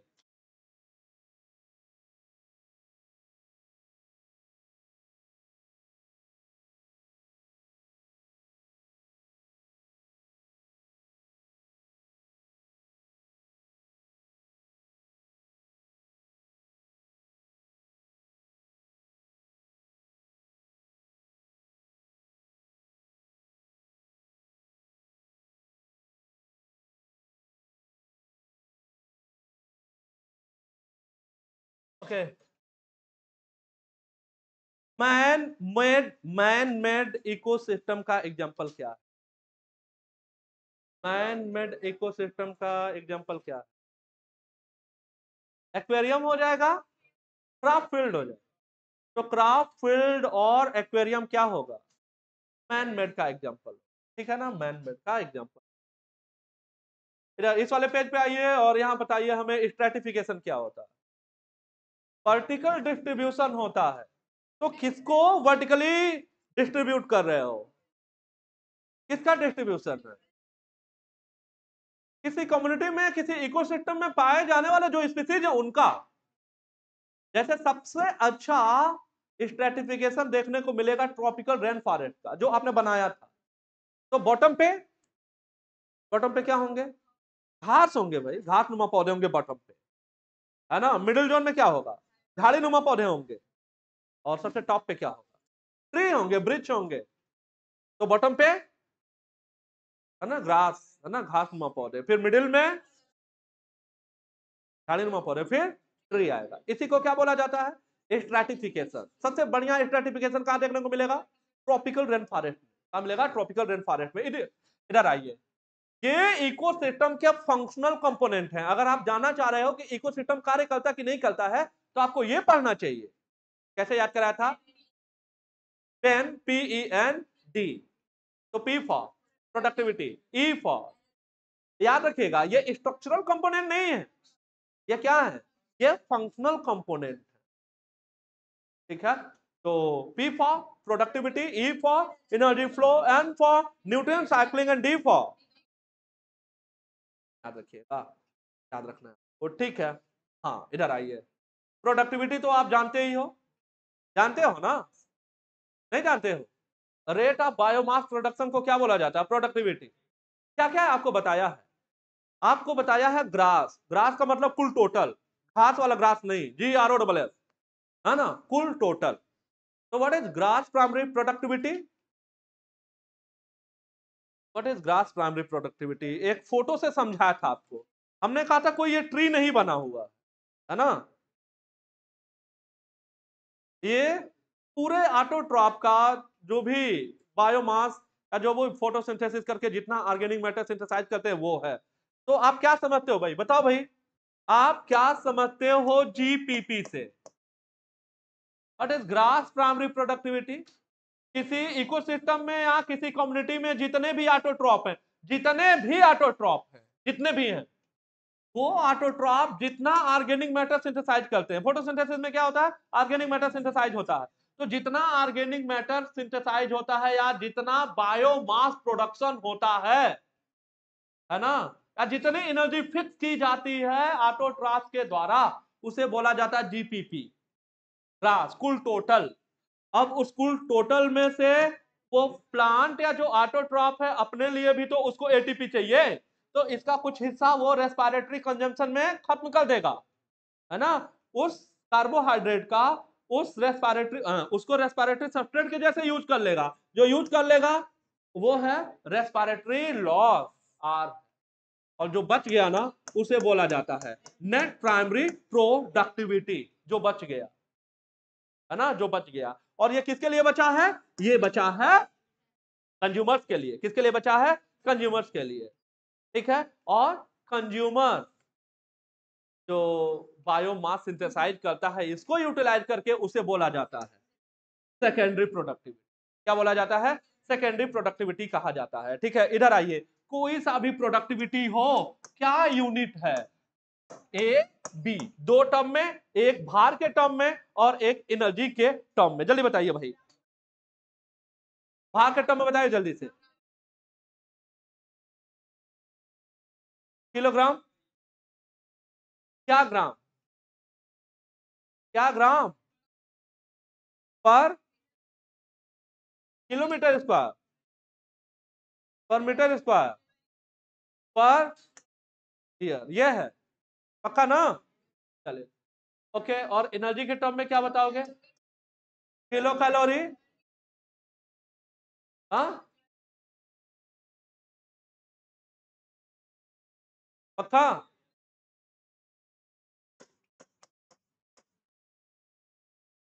माइनस वन करेंगे, ठीक है? तो पर याद रखना, भूलना नहीं इंपॉर्टेंट है ये, ठीक है? ओके तो ग्रास क्या है नेट क्या है रेस्पिरेटरी लॉस क्या है, ये आपको याद रखना है। चलिए, इधर आइए, अब बात करिए decomposition decomposition oxygen requiring process है कि एनएरोबिक प्रोसेस है। ऑक्सीजन रिक्वायरिंग प्रोसेस है, याद रखिएगा। तो ये ऑक्सीजन रिक्वायरिंग प्रोसेस होता है। डिकम्पोजिशन जिस मटेरियल से स्टार्ट होता है, उसे बोला जाता है डेट्राइटस क्या बोला जाता है? What is detritus dead remaining part है। क्या है? डेड रिमेनिंग पार्ट है। किसका? डेड रिमेनिंग पार्ट है। प्लांट और एनिमल का जो डेड डेड रिमेनिंग पार्ट है, उसको क्या बोला जाता है? डेट्राइटस भी बोला जाता है। इसमें याद रखना है, डेट्राइटस में जो ह्यूमन एस्केट्रा या एनिमल का जो फिकल डिस्चार्ज है, वो भी इंक्लूड होता है। तो वो डेट्राइटस कहा जाएगा, डेट्राइटस कहा जाएगा। ठीक बात है, चलिए अब ध्यान से सुनिए। कुछ स्टेप आपको याद कराए थे, लिखा था, फॉल लॉ क हूँ मैं तो फ्रेगमेंटेशन है लिचिंग है, कैटाबोलिज्म है हूँ मैं से क्या है? ह्यूमिफिकेशन और मिनरलाइजेशन। आपको क्या जानना है? आपको जानना है कि वो कौन से तीन स्टेप है जो डेट्राइटस पे हो रहे हैं? तो जो है, वो डेट्राइटस में हो रहा है और एक साथ हो रहा है साइमल्टेनियस हो रहा है। ये नहीं कि पहले फ्रेगमेंटेशन होगा, फिर लीचिंग होगा, फिर कैटाबोलिज्म होगा, नहीं। फ्रेगमेंटेशन लीचिंग कैटाबोलिज्म एक साथ हो रहा है। एक साथ हो रहा है तो क्या बोला जाएगा? साइमल्टेनियस तो जल्दी से हमें बताइए फ्रेगमेंटेशन क्या है? कौन करेगा ब्रेकडाउन अर्थवर्म करेगा। वही करता है फ्रेगमेंटेशन सही बात है। तो अर्थवर्म हो गया, ठीक है टर्माइट हो गया। ये सब क्या करेंगे? जो ये सब डेटिवोर है, ये डेट्राइटस के स्मॉलर फ्रेगमेंट कर देंगे। इसे क्या बोला जाता है? फ्रेगमेंटेशन बोला जाता है। ठीक है व्हाट इज़ कैटाबोलिन बैक्टीरिया और फंजाई के जो एंजाइम है, उसको सिंपल इनऑर्गेनिक पार्ट में ब्रेक कर देंगे। उसे क्या बोला जाएगा? ठीक है, और व्हाट इज़ लीचिंग जो वाटर सॉल्युबल क्या वाटर सॉल्युबल ऑर्गेनिक की इनऑर्गेनिक हाँ? बिल्कुल सही, जो तो वाटर सॉल्युबल इनऑर्गेनिक सब्सटेंस है, जब वो परकुलेट करके, है ना, ज़मीन में नीचे चले जाएँगे लोअर स्ट्रेटा में चले जाएँगे मतलब वो दोबारा फिर प्लांट को वापस नहीं मिल पाएँगे, इसे लीचिंग बोला जाता है। ठीक है तो ये तीनों एक साथ होते हैं, ये डेट्राइटस पे होते हैं, इसके बाद से क्या आएगा? इसके बाद से ह्यूमस का फॉर्मेशन हो जाएगा ह्यूमस जो है पार्शली डिकम्पोज ऑर्गेनिक मैटर है। कोलाइडल सब्सटेंस होता है है ना? एमार्फस सब्सटेंस है ठीक है ना? और रेजिस्टेंस होता है माइक्रोबियल एक्टिविटी से। तो डिग्रेडेशन का रेट बहुत स्लो होता है लेकिन कभी ना कभी तो हो ही जाएगा। तो कभी ना कभी तो हो ही जाएगा तो जो मिनरल है वो उससे रिलीज़ हो जाएगा। और उस, इसको क्या बोला जाएगा? मिनरलाइजेशन कहा जाएगा। ठीक है। इन सारी बातों से इंपॉर्टेंट बात यह है कि फैक्टर्स जो अफेक्ट करते हैं डिकम्पोज अभी शायद पिछले भी टेस्ट में दिए थे है ना? अगर काइटिन और लिग्निन का बना हो डेट्राइटस तो डिकम्पोजिशन का रेट स्लो लेकिन नाइट्रोजन और शुगर का बना हो तो हाँ फास्टर हो जाएगा। ठीक है? ओके आ, और दूसरा क्लाइमेटिक कंडीशन में एन एरोबायोसिस सप्रेस करता है है ना? कौन कौन प्रमोट करता है?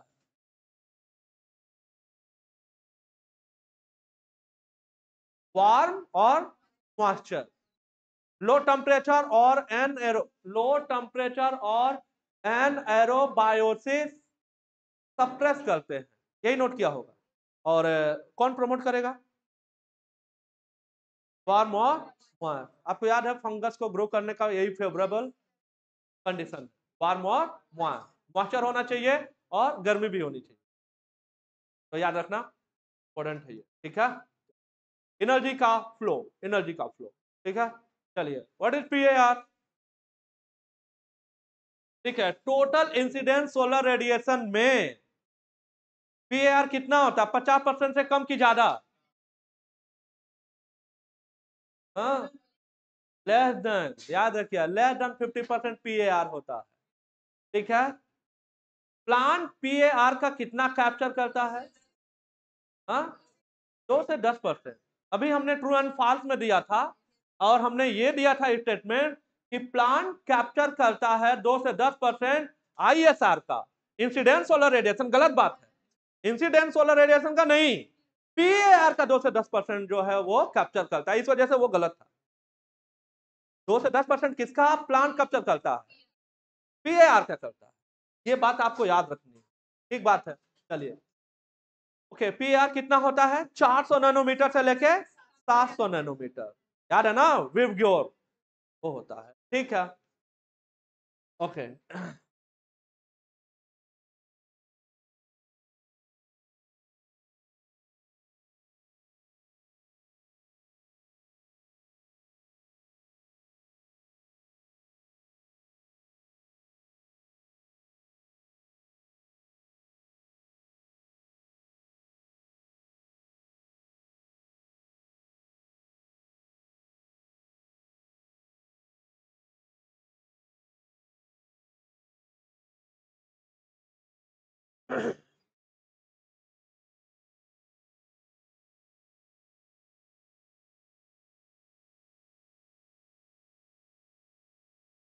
चलिए, अब यहाँ पे दो फ़ूड चेन के बारे में हमने बात की थी। एक आपको बताया था जीएफसी और एक है DFC is GFC grazing food chain और एक है डेट्राइटस फ़ूड है ना? ये भी सवाल रिपीट कर रहे हैं बार बार तो ये बताइए, कौन सा फ़ूड चेन है जो डेड ऑर्गेनिक मैटर से शुरू होता है? डेट्राइटस डेट्राइटर जो है वो डेट ऑर्गेनिक मैटर से शुरू होता है। ठीक है? हाँ एक सवाल जो बहुत पॉपुलर है ट्रू एंड फॉल्स में बहुत पूछा जाता रहता है, वो बताइए। टेरेस्ट्रियल इकोसिस्टम में ग्रेजिंग पाया जाता है कि डेट्राइटस पाया जाता है? दोनों पाया जाता है। एक्वेटिक में भी दोनों पाया जाता है। है ना? मेन क्या है? ये अलग सवाल है। तो होगा दोनों। टेरेस्ट्रियल इकोसिस्टम में मेन क्या होता है? हाँ? बिल्कुल सही डेट्राइटस होगा। और जबकि एक्वेटिक इकोसिस्टम में मेन क्या होगा? हाँ? ग्रेजिंग ठीक है ना? तो आप याद रखिएगा, दोनों जगह दोनों पाया जा रहा है। बात समझ रहा ना मैं क्या कहना चाह रहा हूँ? लेकिन टेरेस्ट्रियल में कौन मेन है? डीएफसी जबकि एक्वेटिक में GFC what is GFC grazing food याद रखना है इंपॉर्टेंट है, भूलिएगा नहीं। ओके, इधर आओ। यहाँ से ये सवाल देखो। ये बहुत इंपॉर्टेंट है, भूलिएगा नहीं। हम जानना चाह रहे हैं क्या है standing crop what is standing crop standing standing crop क्या? किसी पार्टिकुलर ट्रॉपिक लेवल पे, किसी एक पार्टिकुलर समय पे जो भी लिविंग बैटर मौजूद। क्लियर बात हुई? किसी दिए गए किसी समय की बात कर रहे हो किसी ट्रॉपिक लेवल पे जो भी लिविंग मैटर मौजूद है, उसे उस ट्रॉपिक लेवल का क्या बोला जाएगा? स्टैंडिंग क्राफ्ट तो लिविंग मैटर को कैसे बता सकते हो? लिविंग मैटर को कैसे बता सकते हो भाई?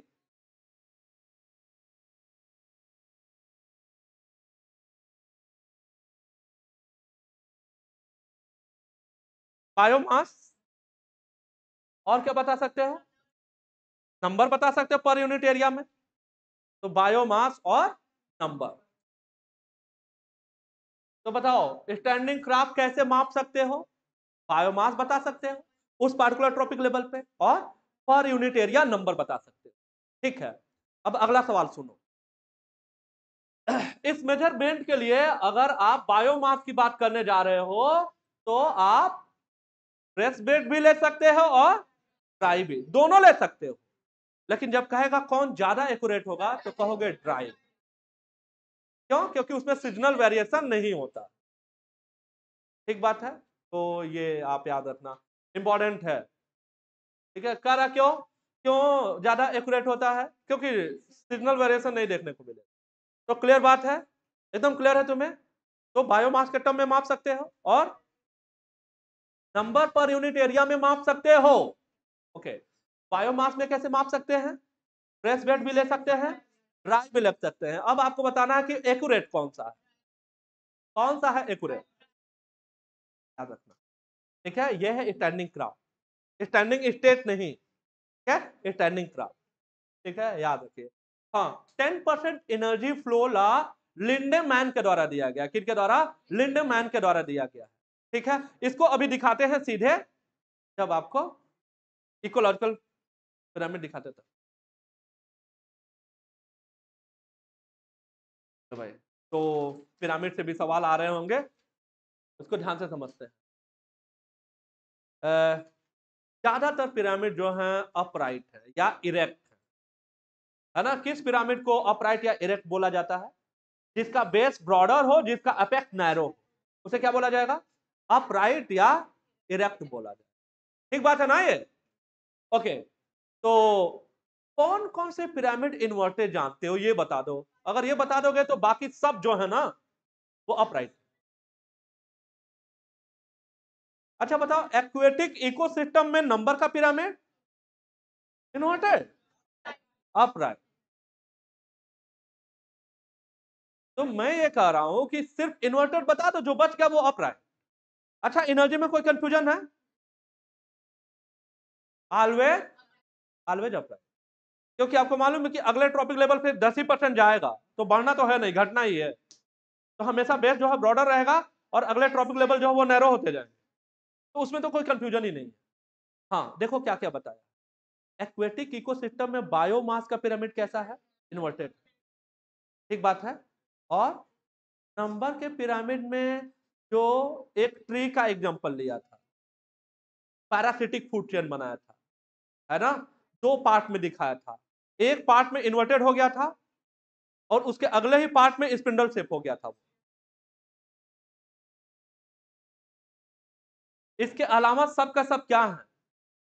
अपराइट है। चलो इधर आओ।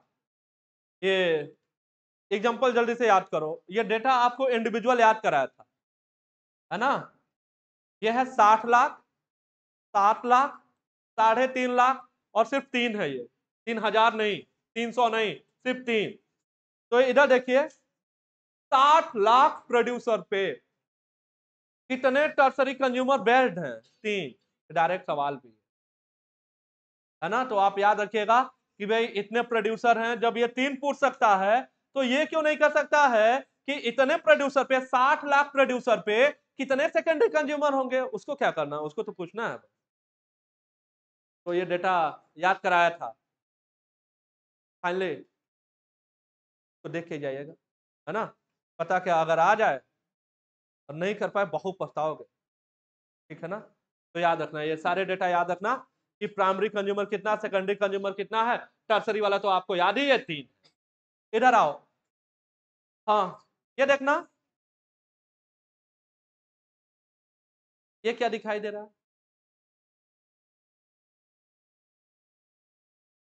अपराइट है कि इन्वर्टेड कहाँ का है ये अप अपराइट पिरामिड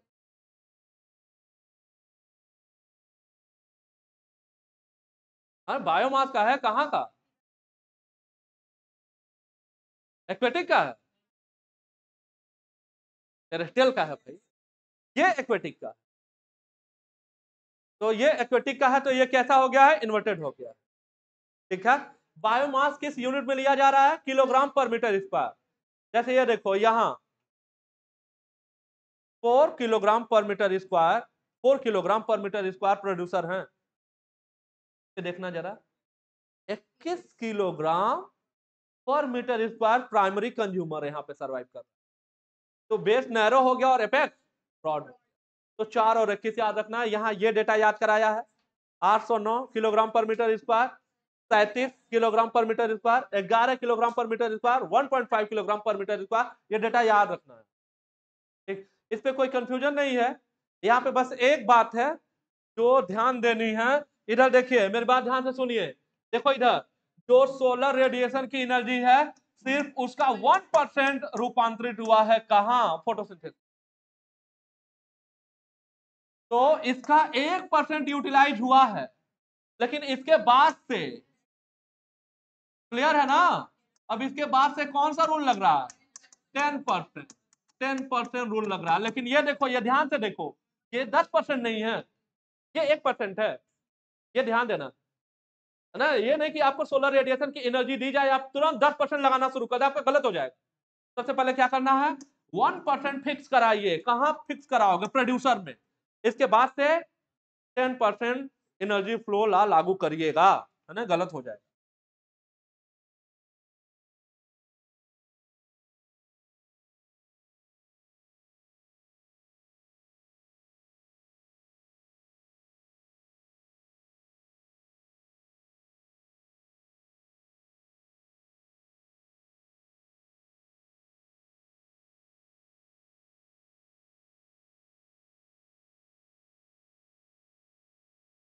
चले।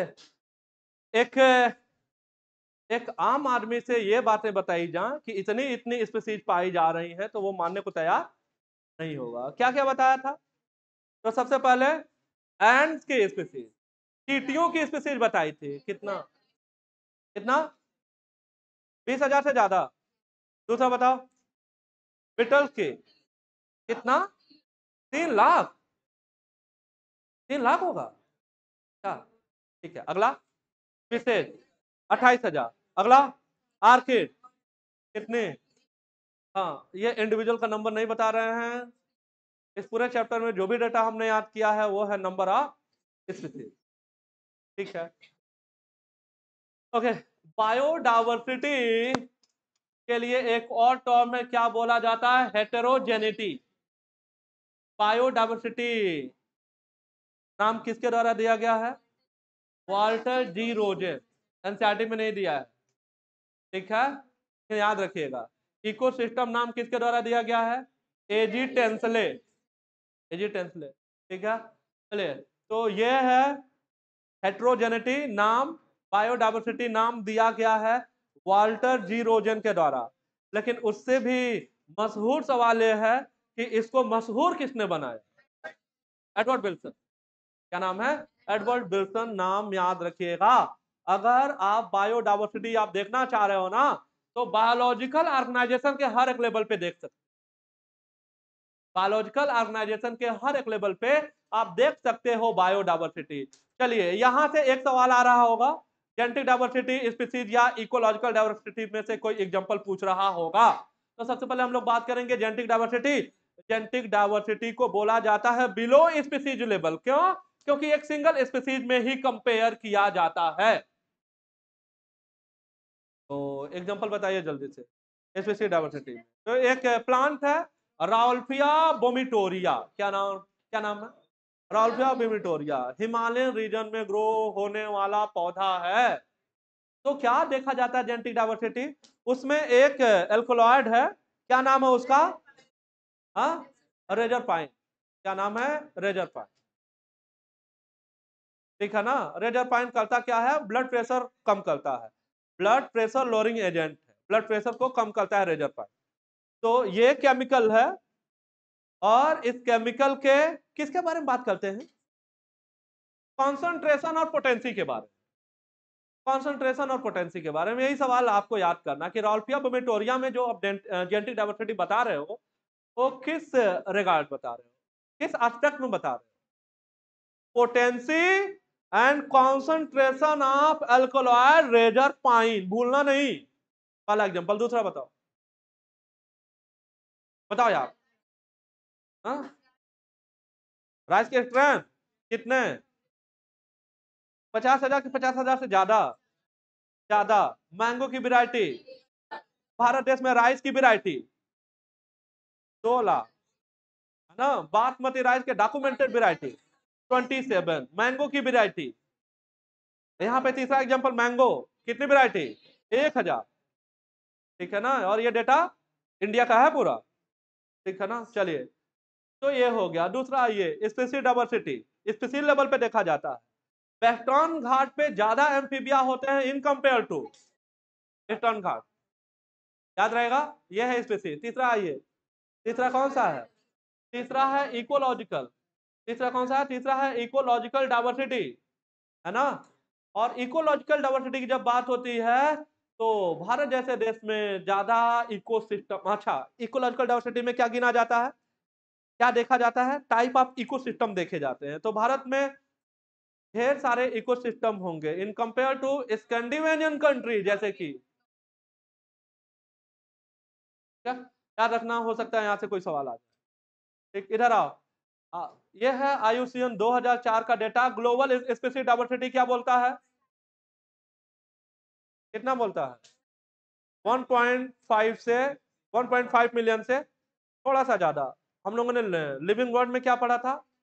1.7 टू 1.8 मिलियन है ग्लोबल स्पेसिस डाइवर्सिटी आयुसीएन 2004 ठीक है? क्या होता है? आयुसीएन?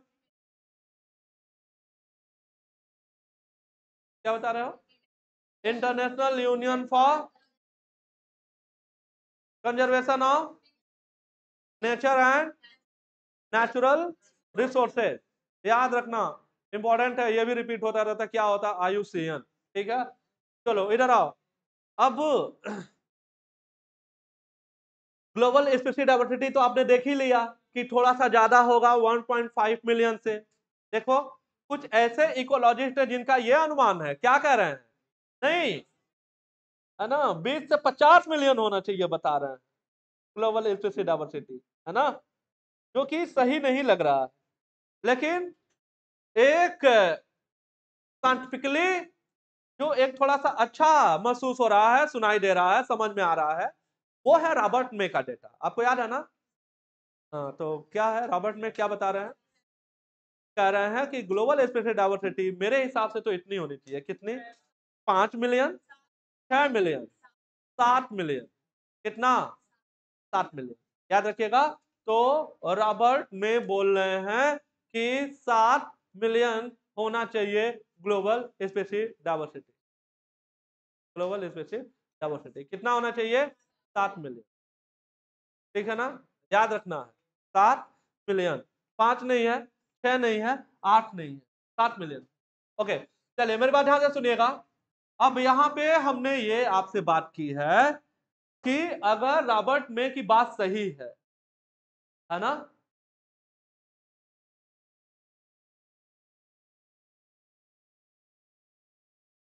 ये कह रहे हैं कि सात मिलियन होना चाहिए, है ना? और आयुषियन ये देखना, रफली मान लेते हैं 1.5 मिलियन बोल रहा है, रफली। ठीक है? तो अगर रॉबर्ट में की बात सही है तो अभी कितना मिलियन स्पेसिस डिस्कवर होना बाकी है? 5.5 मिलियन। ठीक इसको परसेंटेज में देखें तो कितना डिस्कवर हो चुका है? 22 percent seventy eight percent yet to be discovered data आप याद रखिएगा। ठीक है, इधर आओ। जो डिस्कवर्ड हुए हैं उनमें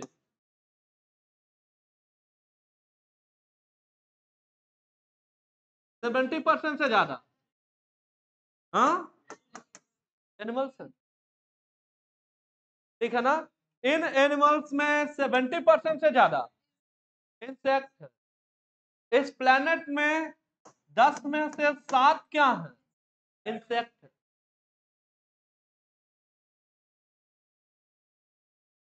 भाई, इधर देख लीजिए। ठीक है यहाँ देखो। ये सबसे ज़्यादा एरिया है ना? जब इनवर्टिब्रेट में डाइवर्सिटी का डिवीज़न दिखाएगा ना तो ये इंसेक्ट बना के नहीं देगा, कोई ज़रूरी नहीं है ना? सिर्फ़ वो क्या दिखाएगा? एरिया दिखाएगा। तो सबसे ज़्यादा क्या होगा? ठीक है ना ये क्लॉक वाइज है कि एंटी क्लॉक वाइज है?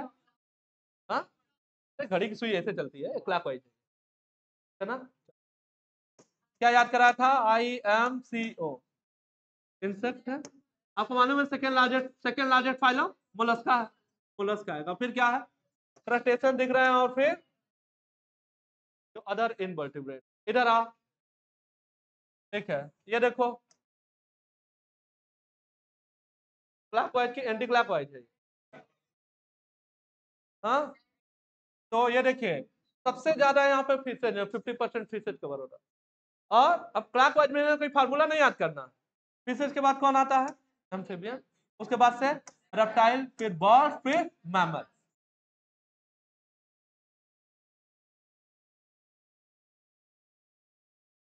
ठीक है? ये दिखाया जा रहा है ठीक है प्लांट का। प्लांट के साथ साथ यहाँ पे फंजाई भी दिखाया जा रहा है। ठीक है, आपको मालूम है टू किंगडम क्लासिफिकेशन में फंगस को कहाँ रखा जाता है? कहाँ रखा जाता है? टू में क्यों? फोर किंगडम तक कहाँ रखा जाता है? प्लांट में वो तो पाँचवें किंगडम में फंजाई अलग किंगडम चलिए भाई, ये देखिए, यहाँ पे ये डेटा आपको याद कराया था, है ना? तो अपने देश का एक मैप भी बनाया था यहाँ पे, अगर आपको याद हो तो। चलिए, क्या बताना है आपसे कि जो टोटल लैंड सरफेस एरिया है पूरे दुनिया भर का, है ना? भारत का कितना कंट्रीब्यूशन है? टू पॉइंट फोर परसेंट तो टू पॉइंट फोर परसेंट जो है वो लैंड कवर है। लेकिन जैसे ही डाइवर्सिटी कवर की बात होती है तो 8.1 ना 2.4 सरफेस कवर है, लेकिन डाइवर्सिटी कवर 8.1 इसी वजह से भारत देश 12 मेगा डाइवर्सिटी कंट्री में से एक है। क्या? चलिए, और क्या आपको बताना है? आपको यह बताना है, यहाँ पे भारत देश में पैतालीस हज़ार प्लांट के हैं। हाँ इसके दो गुना, नब्बे हज़ार एनिमल के स्पीसीज हैं, है ना, नॉन। अगर रॉबर्ट में की बात सही है तो एक लाख से ज़्यादा प्लांट के स्पीसीज डिस्कवर होने बाकी हैं। हाँ। कितना? तीन लाख की लाख हाँ तीन लाख से ज़्यादा एनुअल के स्पीसीज डिस्कवर होने बाकी हैं। ये सवाल है यहाँ पे। याद रखिएगा। ठीक है? इंपॉर्टेंट है। चलिए भाई, इधर आइए। पैटर्न ऑफ़ डाइवर्सिटी में पहला आपको दिखाया है लैटिट्यूडनल ग्रेडियंट अच्छी विस्तार तो सबसे पहले मैं ये जानना चाह रहा हूँ कि ट्रॉपिक्स का अच्छी विस्तार क्या है? फ़ोटो बनाया। क्या है? कहाँ से कहाँ तक? 23.5 डिग्री नॉर्थ से लेके 23.5 डिग्री साउथ। यह है ट्रॉपिक्स का। है ना? अगर आप एक्वेटर से पोल की ओर जाएँ, अगर आप एक्वेटर से पोल की ओर जाएँ तो पोल 90 पे है एक्वेटर ज़ीरो पे है। तो लैटिट्यूड ग्रेडियंट बढ़ेगा। तो अगर आप पोल से एक्वेटर की ओर जाएँगे तो क्या क्या बढ़ता है? कि सब घट जाता है। घट जाता है। क्या घट जाएगा? टेम्परेचर घट जाएगा। Rainfall productivity number of species तो डाइवर्सिटी घट जाएगी प्रोडक्टिविटी घट जाएगी टेम्परेचर फॉल हो जाएगा और रेनफॉल में भी फॉल आ जाएगा। ठीक है? याद रखिएगा। ओके चलिए कुछ एग्जांपल आपको दिखाते हैं। जैसे देखिए बॉर्ड्स के स्पीसीज का नंबर याद कराया था फार्मूला याद कराया था C N G what is C N G C for Colombia N for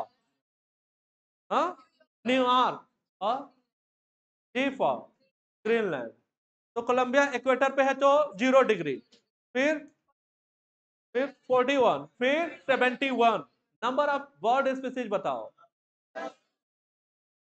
fourteen hundred से ज़्यादा? कि फोर्टीन हंड्रेड कितना भाई? हाँ फोर्टीन हंड्रेड ठीक है, और? न्यूयॉर्क है ना कितना? एक सौ पाँच, फिर छप्पन। कहा छप्पन ना? ठीक है, भारत देश का ज़्यादातर हिस्सा जो है ट्रॉपिकल एरिया में पड़ता है, और नंबर ऑफ़ स्पीसीज बारह सौ से ज़्यादा। ये चौथी लाइन लिखी हुई है वहाँ ठीक है? सीएनजी याद रखिएगा। चलो भाई, इसके अलावा एक, अगला एग्ज़ाम्पल आपको लिया है। एक ट्रॉपिकल एरिया से लिया है और एक टेम्परेट एरिया से लिया है। ट्रॉपिकल एरिया से लिया है एक्वाडोर और टेम्परेट से लिया है मिड वेस्ट यूएसए बराबर मतलब सेम एरिया में जब हमने कंसीडर किया है तो ट्रॉपिकल ट्रॉपिकल में वैस्कुलर प्लांट की दस गुना ज़्यादा स्पीसीज कितना? Ten time more vascular plant की स्पीसीज पाई जाती हैं। ठीक है? तीसरा एग्जांपल हमने लिया है, वो है अमेजोनियन रेन फॉरेस्ट से। बहुत ज़्यादा डाइवर्सिटी है अमेजोनियन रेन फॉरेस्ट में, आप जानते ही हो। जानते हो ना? याद कर लिया है? तो बताओ भाई प्लांट के कितने स्पीसीज हैं? हाँ? चालीस हज़ार। ठीक है, और बताओ। प्लांट बता लिए तो इनवर्टिब्रेट बताओ, एक लाख पच्चीस हज़ार से ज़्यादा। और क्या क्या बताओगे? फिशेज बताओगे बॉर्ड्स बताओगे एम्फीबियन बताओगे मैमल बताओगे रेप्टाइल बताओगे। तो क्या क्या बताने जा रहे हो? मैमल्स और एम्फीबिया बराबर हैं चार सौ सत्ताईस स्पीसीज रेप्टाइल जो है तीन सौ अठहत्तर है। बॉर्ड तेरह सौ। फिशेज हाँ? तीन हज़ार। क्या बचा? प्लांट चालीस हज़ार हो गया। हो गया है? ठीक है? तो यह है अमेजोनियन रेन फॉरेस्ट जिसको धरती का फेफड़ा कहा जाता है। क्यों कहा जाता है? इस एटमॉस्फेयर में जितना भी ऑक्सीजन है ना, कितना? बीस परसेंट सिर्फ़ कहाँ से आया? ट्वेंटी परसेंट है ना कि ट्वेंटी फाइव है? कितना भाई? ट्वेंटी की ट्वेंटी फाइव? ट्वेंटी है ना? अभी देख लेंगे। तो ट्वेंटी होगा मेरे ख्याल से। ट्वेंटी परसेंट जो है वो सीधे कहाँ से आया है? यहीं से आया है। अमेजोनियन रेन फॉरेस्ट से आया नहीं मिला? हाँ आया तो था।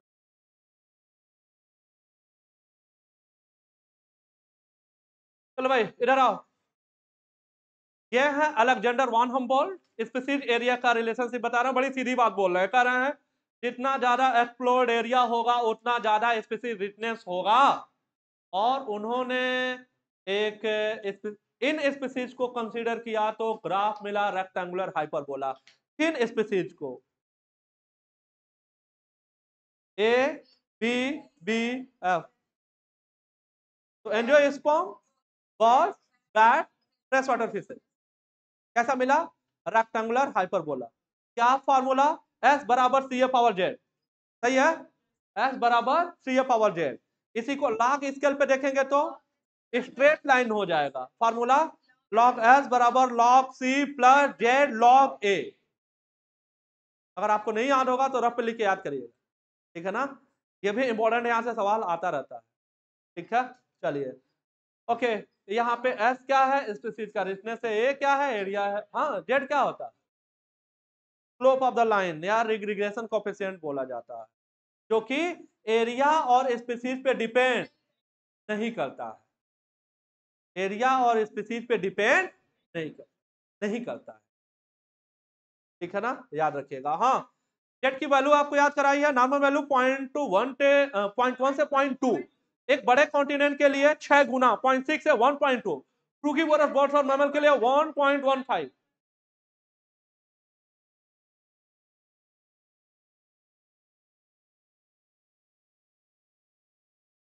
Rivet popper hypothesis पढ़े हो? किसके द्वारा दिया गया है?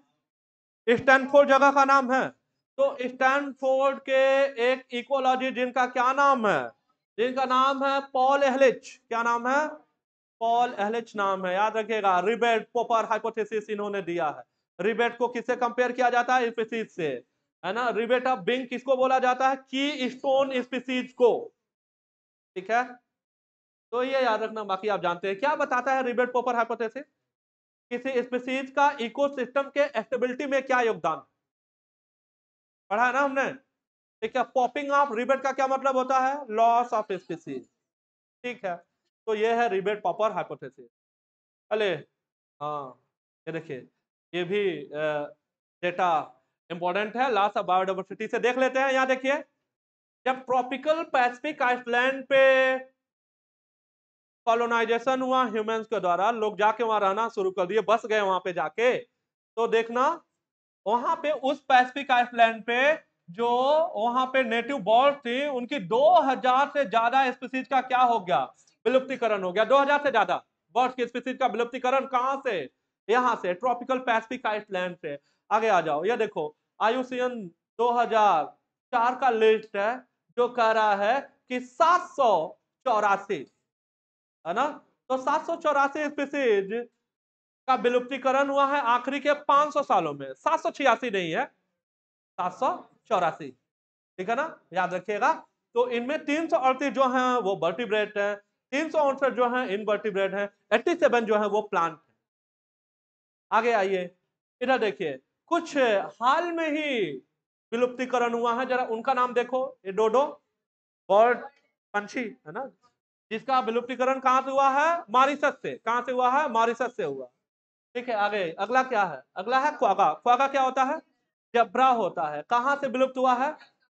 ठीक है, और थाइलासिन? क्या है? क्या होता है?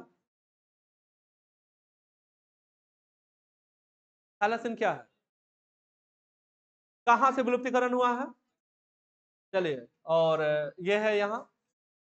स्टीलर सी काउ कहाँ से? रसिया से। इसके अलावा ये देखिए, तीन सब स्पीसीज हैं, बाघ के। ये भी बेचारे विलुप्त हो गए। कौन कौन पाली है ना? पाली जवान और कैस्पियन। आखिरी के 20 सालों में 27 स्पीसीज का विलुप्तीकरण हुआ है। ठीक है चले जरा भाई पूरे दुनिया भर में मौजूदा समय में 15,500 से ज़्यादा स्पीसीज विलुप्तिकरण के कगार पे कितना? 15,500 से ज़्यादा स्पीसीज जिसमें से 12 परसेंट बी फॉर बारह बी फॉर बर्ड। तो बर्ड के 12 परसेंट स्पीसीज का विलुप्तिकरण हुआ है है ना? होने के कगार पे ठीक है। अगला देखिए। हम्म तेईस परसेंट उसमें मैमल के स्पीसीज हैं। जो विलुप्तीकरण के कगार पे हैं। हम यही बात कर रहे हैं। ठीक है? अगला, बत्तीस परसेंट जो है एम्फीबियन और इकतीस परसेंट तो सबसे तेज़ी से किसका नंबर घटेगा? एम्फीबियन का। सबसे तेज़ी से, सबसे ज़्यादा कौन फेस कर रहा है एक्सटिंक्शन को? बत्तीस परसेंट है भाई, किसका? एम्फीबियन का। फिर इकतीस परसेंट जिम्नोस्पोम आ रहा है। फिर मैमल आ जा रहा, देखो तेईस परसेंट। फिर ठीक है, याद रखना। ओके, कितने मास एक्सटेंशन अब तक हो चुके हैं? हाँ पाँच हो चुके हैं। ठीक है, और छठे का नंबर इधर आओ। इविल क्वार्टेट से ज़रूर सवाल आ रहा होगा व्हाट इज़ इविल क्वार्टेट हाँ? इविल का मतलब? इविल का क्या मतलब होता है? क्वार्टेट का क्या मतलब है? चार। ठीक है? और एविल कहने का मतलब क्या है? बुरी आत्मा, दुष्ट आत्मा। और ये आत्मा, दुष्ट आत्मा क्या करने जा रही है? डाइवर्सिटी का विनाश करने जा रही है। तो चार चीज़ें जो डाइवर्सिटी को नुकसान पहुंचाएँगे। सबसे पहला, हैबिटाट, लॉस एंड फ्रेगमेंटेशन। ये प्रमुख कारण है। सबसे प्रमुख कारण। मेजर काज क्या है यार? डाइवर्सिटी, लॉस का? यही है। ठीक है? Habitat, loss and fragmentation. Tropical rain forest कभी इस पूरे अर्थ सरफेस का 14 परसेंट कवर करता था, लेकिन अब वो 6 परसेंट से ज़्यादा नहीं बचा है। इसका जीता जागता उदाहरण आएगा ट्रॉपिकल रेन फॉरेस्ट से। वो भी कहाँ से? अमेजोनियन रेन फॉरेस्ट जिसकी कटाई चल रही है वो धड़ल्ले से। क्यों? क्यों? सोयाबीन की खेती करने के लिए। और ग्रासलैंड लगा रहे हैं जानवर पालने के लिए। ठीक है ना? चलिए, याद रखिएगा। ओवर एक्सप्लॉटेशन में एग्जांपल याद कराया था, दिल्ली पब्लिक स्कूल डीपीएस बताओ भाई व्हाट इज़ ओवर एक्सप्लॉटेशन अति दोहन। जब ज़रूरत किसमें बदल जाए? लालच में बदल जाए। नीड बदल जाए ग्रीड में। तो होता है over exploitation DSP D for dodo S for Steller sea cow P for passenger pigeon ये तीनों जीता जागता उदाहरण है किसका? ओवर एक्सप्लॉयटेशन का। आगे आइए। अगला है, बाह्य प्रजातियों का आक्रमण। Alien species invasion. यहाँ से सवाल आ रहे होंगे। सारे एग्ज़ाम्पल एक एक करके बताइए। तो सबसे पहला, विक्टोरिया नामक झील कहाँ है, ये बताइए। साउथ अमेरिका में। साउथ अफ्रीका में। ईस्ट अफ्रीका में है विक्टोरिया नामक झील। ठीक है? वहाँ पे देसी मछलियाँ रह रही थी। वहाँ के लिए देसी मछलियाँ। ठीक है? क्या नाम? सिचलेट। क्या नाम है? सिचलेट फ़िश याद है ना? वहाँ पे क्या किया? एक प्रिडेटरी फ़िश को इंट्रोड्यूस कराया गया था फ़ोटो बनाया था।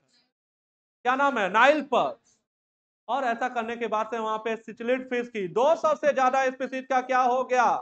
विलुप्तीकरण हो गया। तो ये है एलियन स्पीसीज इन्वेजन अगला बताओ भाई। अगला क्या बताओगे?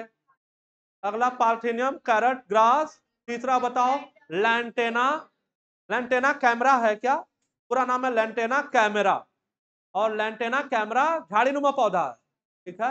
ये भी क्या है? एलियन स्पीसीज है। अगला बताओ। जलकुंभी आप जानते ही हो। वाटर हाइसिन ठीक है? और अपने देश की नदियों में एक अफ्रीकन कैट फ़िश है, जिसका नाम है क्लेरी क्लेरिया आर्गेरिपाइनस क्या नाम है? क्लेरी क्लेरिया आर्गेरिपाइनस उसके इंट्रोडक्शन से यहाँ पे अपने नदियों में जो देसी मछलियाँ थी कैट फ़िश उनको खतरा बढ़ गया। कितने एग्जांपल बताए? कौन कौन सा?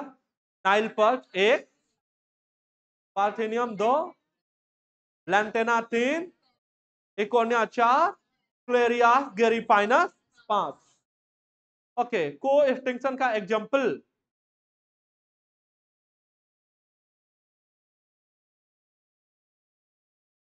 होस्ट और पैरासाइट और? प्लांट और? हाँ क्या मतलब होता है? को एक्सटिंक्शन का, अगर एक विलुप्त हो जाए तो दूसरे को विलुप्त होना होगा। ठीक है? चलो भाई, अब बायोडाइवर्सिटी को क्यों बचाया जाए? तीन कारण है। एक है नैरोवली यूटिलिटेरियन दूसरा है ब्रॉडली और तीसरा है इथिकल ठीक है? ये बताओ नेचर जो हमें ऑक्सीजन प्रोवाइड कर रहा है, वो नैरोली यूटिलिटेरियन है कि ब्रॉडली है? हाँ?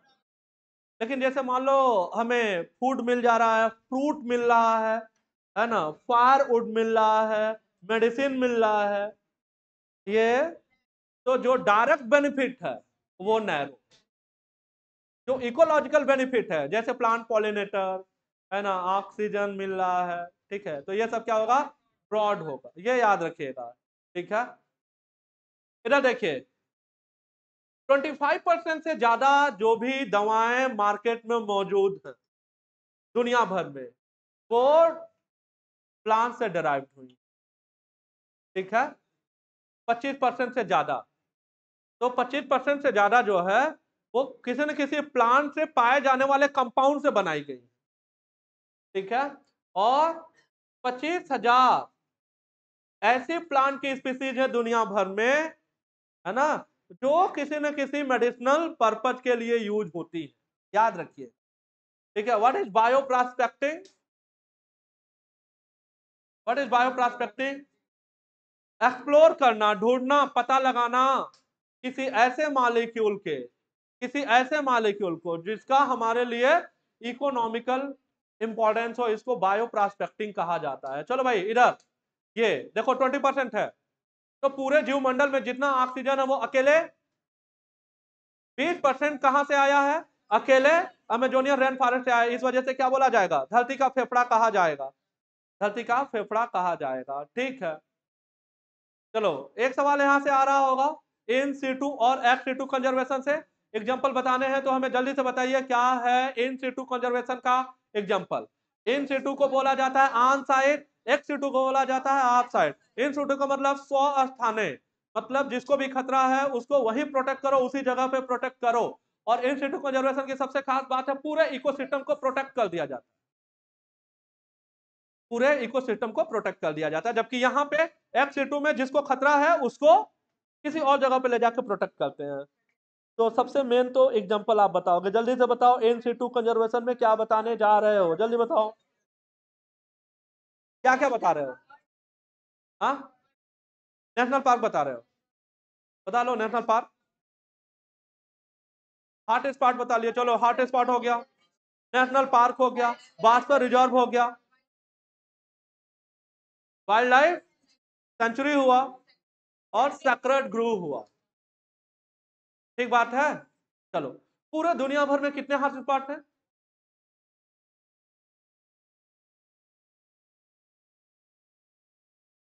थर्टी फोर है भाई। ठीक है? भारत देश में तीन है। कैसे याद करा था? हाई एच आई डब्ल्यू ठीक है? तो H for Himalaya I for ठीक है? और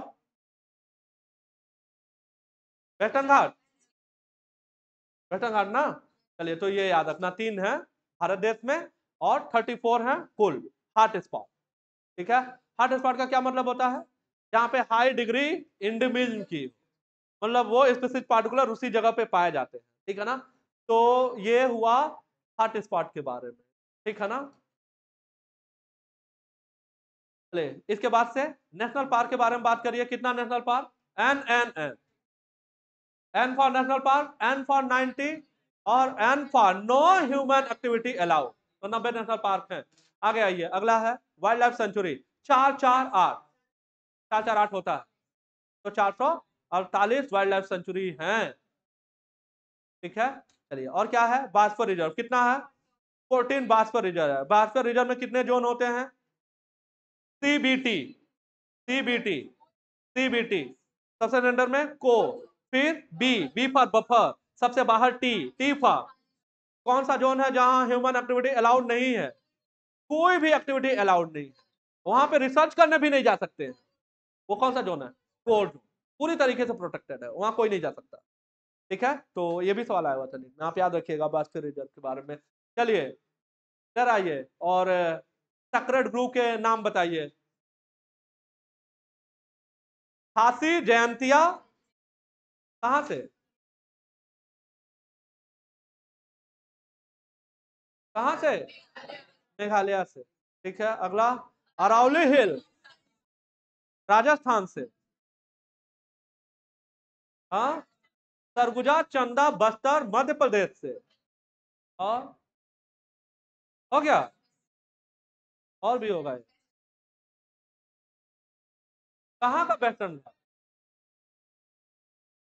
कर्नाटका और, ठीक है, याद रखिएगा सेक्रेट ग्रुप भी पूछा जाता रहता है, ठीक है?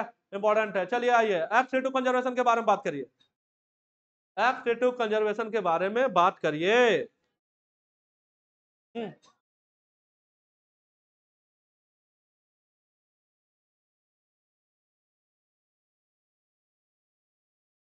हाँ कितने एग्ज़ाम्पल याद करा कितने? आठ। चलो गिनना शुरू करो।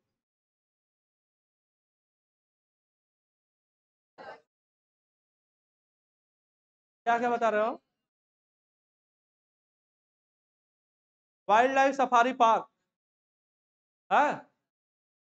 चिड़ियाघर। लॉजिकल पार्क ठीक है, और बॉटनिकल गार्डन तीन हो गया।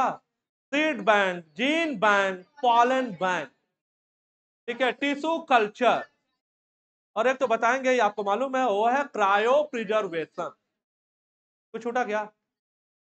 Seed bank gene bank pollen bank tissue culture cryopreservation wildlife safari park और चिड़ियाघर और और क्या बचा यार?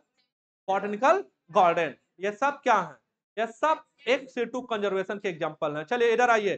दो सम्मेलन के बारे में बात करेंगे। एक जो उन्नीस सौ बानवे में हुआ है और एक जो 2002 में हुआ है। कौन सा उन्नीस सौ बानवे में हुआ है? अर्थ समित कहा हुआ है अर्थ समित रियो डे जेनिरो। कहा है रियो डे जेनिरो? ब्राज़ील में। ओके दूसरा ये वर्ल्ड समिट 2002 जोहान्सवर्ग कहा है? साउथ अफ्रीका में। कहा है? साउथ अफ्रीका में। ठीक। चलिए, ये भी पूछा जाता है, आप याद रखिएगा इसे। ठीक है कि वर्ल्ड सम्मेलन कहाँ हुआ था? वर्ल्ड समिट कहाँ हुआ था? अर्थ समिट कहाँ हुआ था? ठीक है? सन भी याद रखिएगा, उन्नीस सौ बानबे और 2002 ठीक है? एक ब्राज़ील में और एक साउथ अफ्रीका में। साउथ अफ्रीका में कौन सा शहर? जोहान्सवर्ग और ब्राज़ील में कौन सा शहर? कौन सा शहर? Rio de Janeiro. क्या होगा? रियो डे जेनेरो नाम है, याद रखिएगा। ठीक है? क्रायो प्रिजर्वेशन का क्या टेम्परेचर है? क्रायो प्रिजर्वेशन का टेम्परेचर क्या है? माइनस एक सौ छियानवे डिग्री सेंटीग्रेड टेम्परेचर हो गया तो medium liquid ammonia liquid ammonia नहीं। Liquid nitrogen. क्या होगा? लिक्विड नाइट्रोजन होगा ठीक है?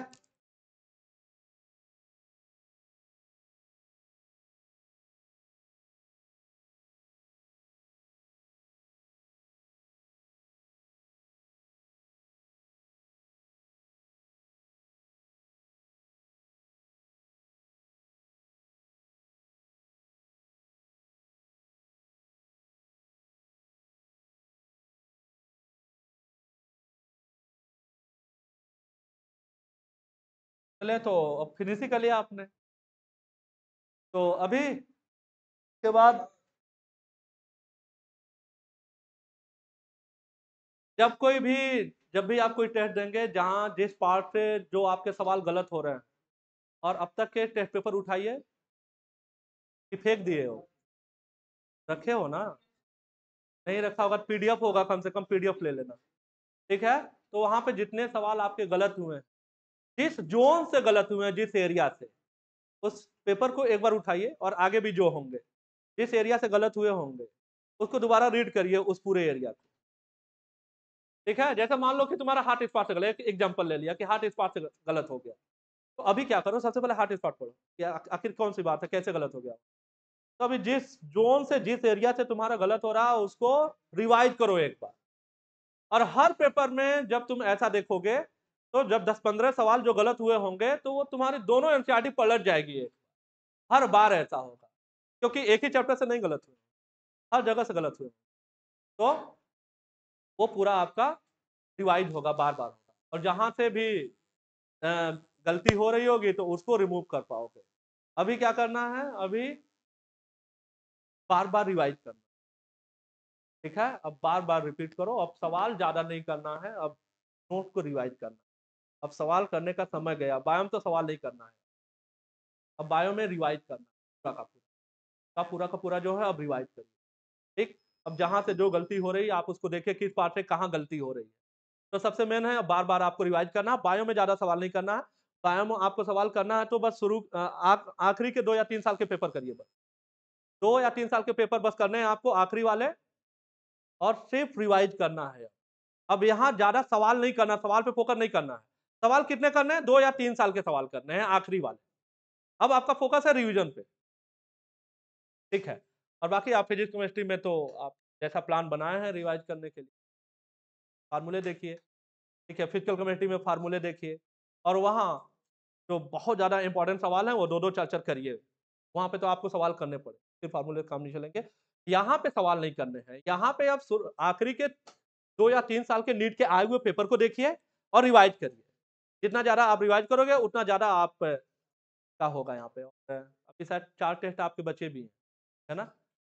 तो दीजिए और पूरा दोहरा के दीजिए। बात है?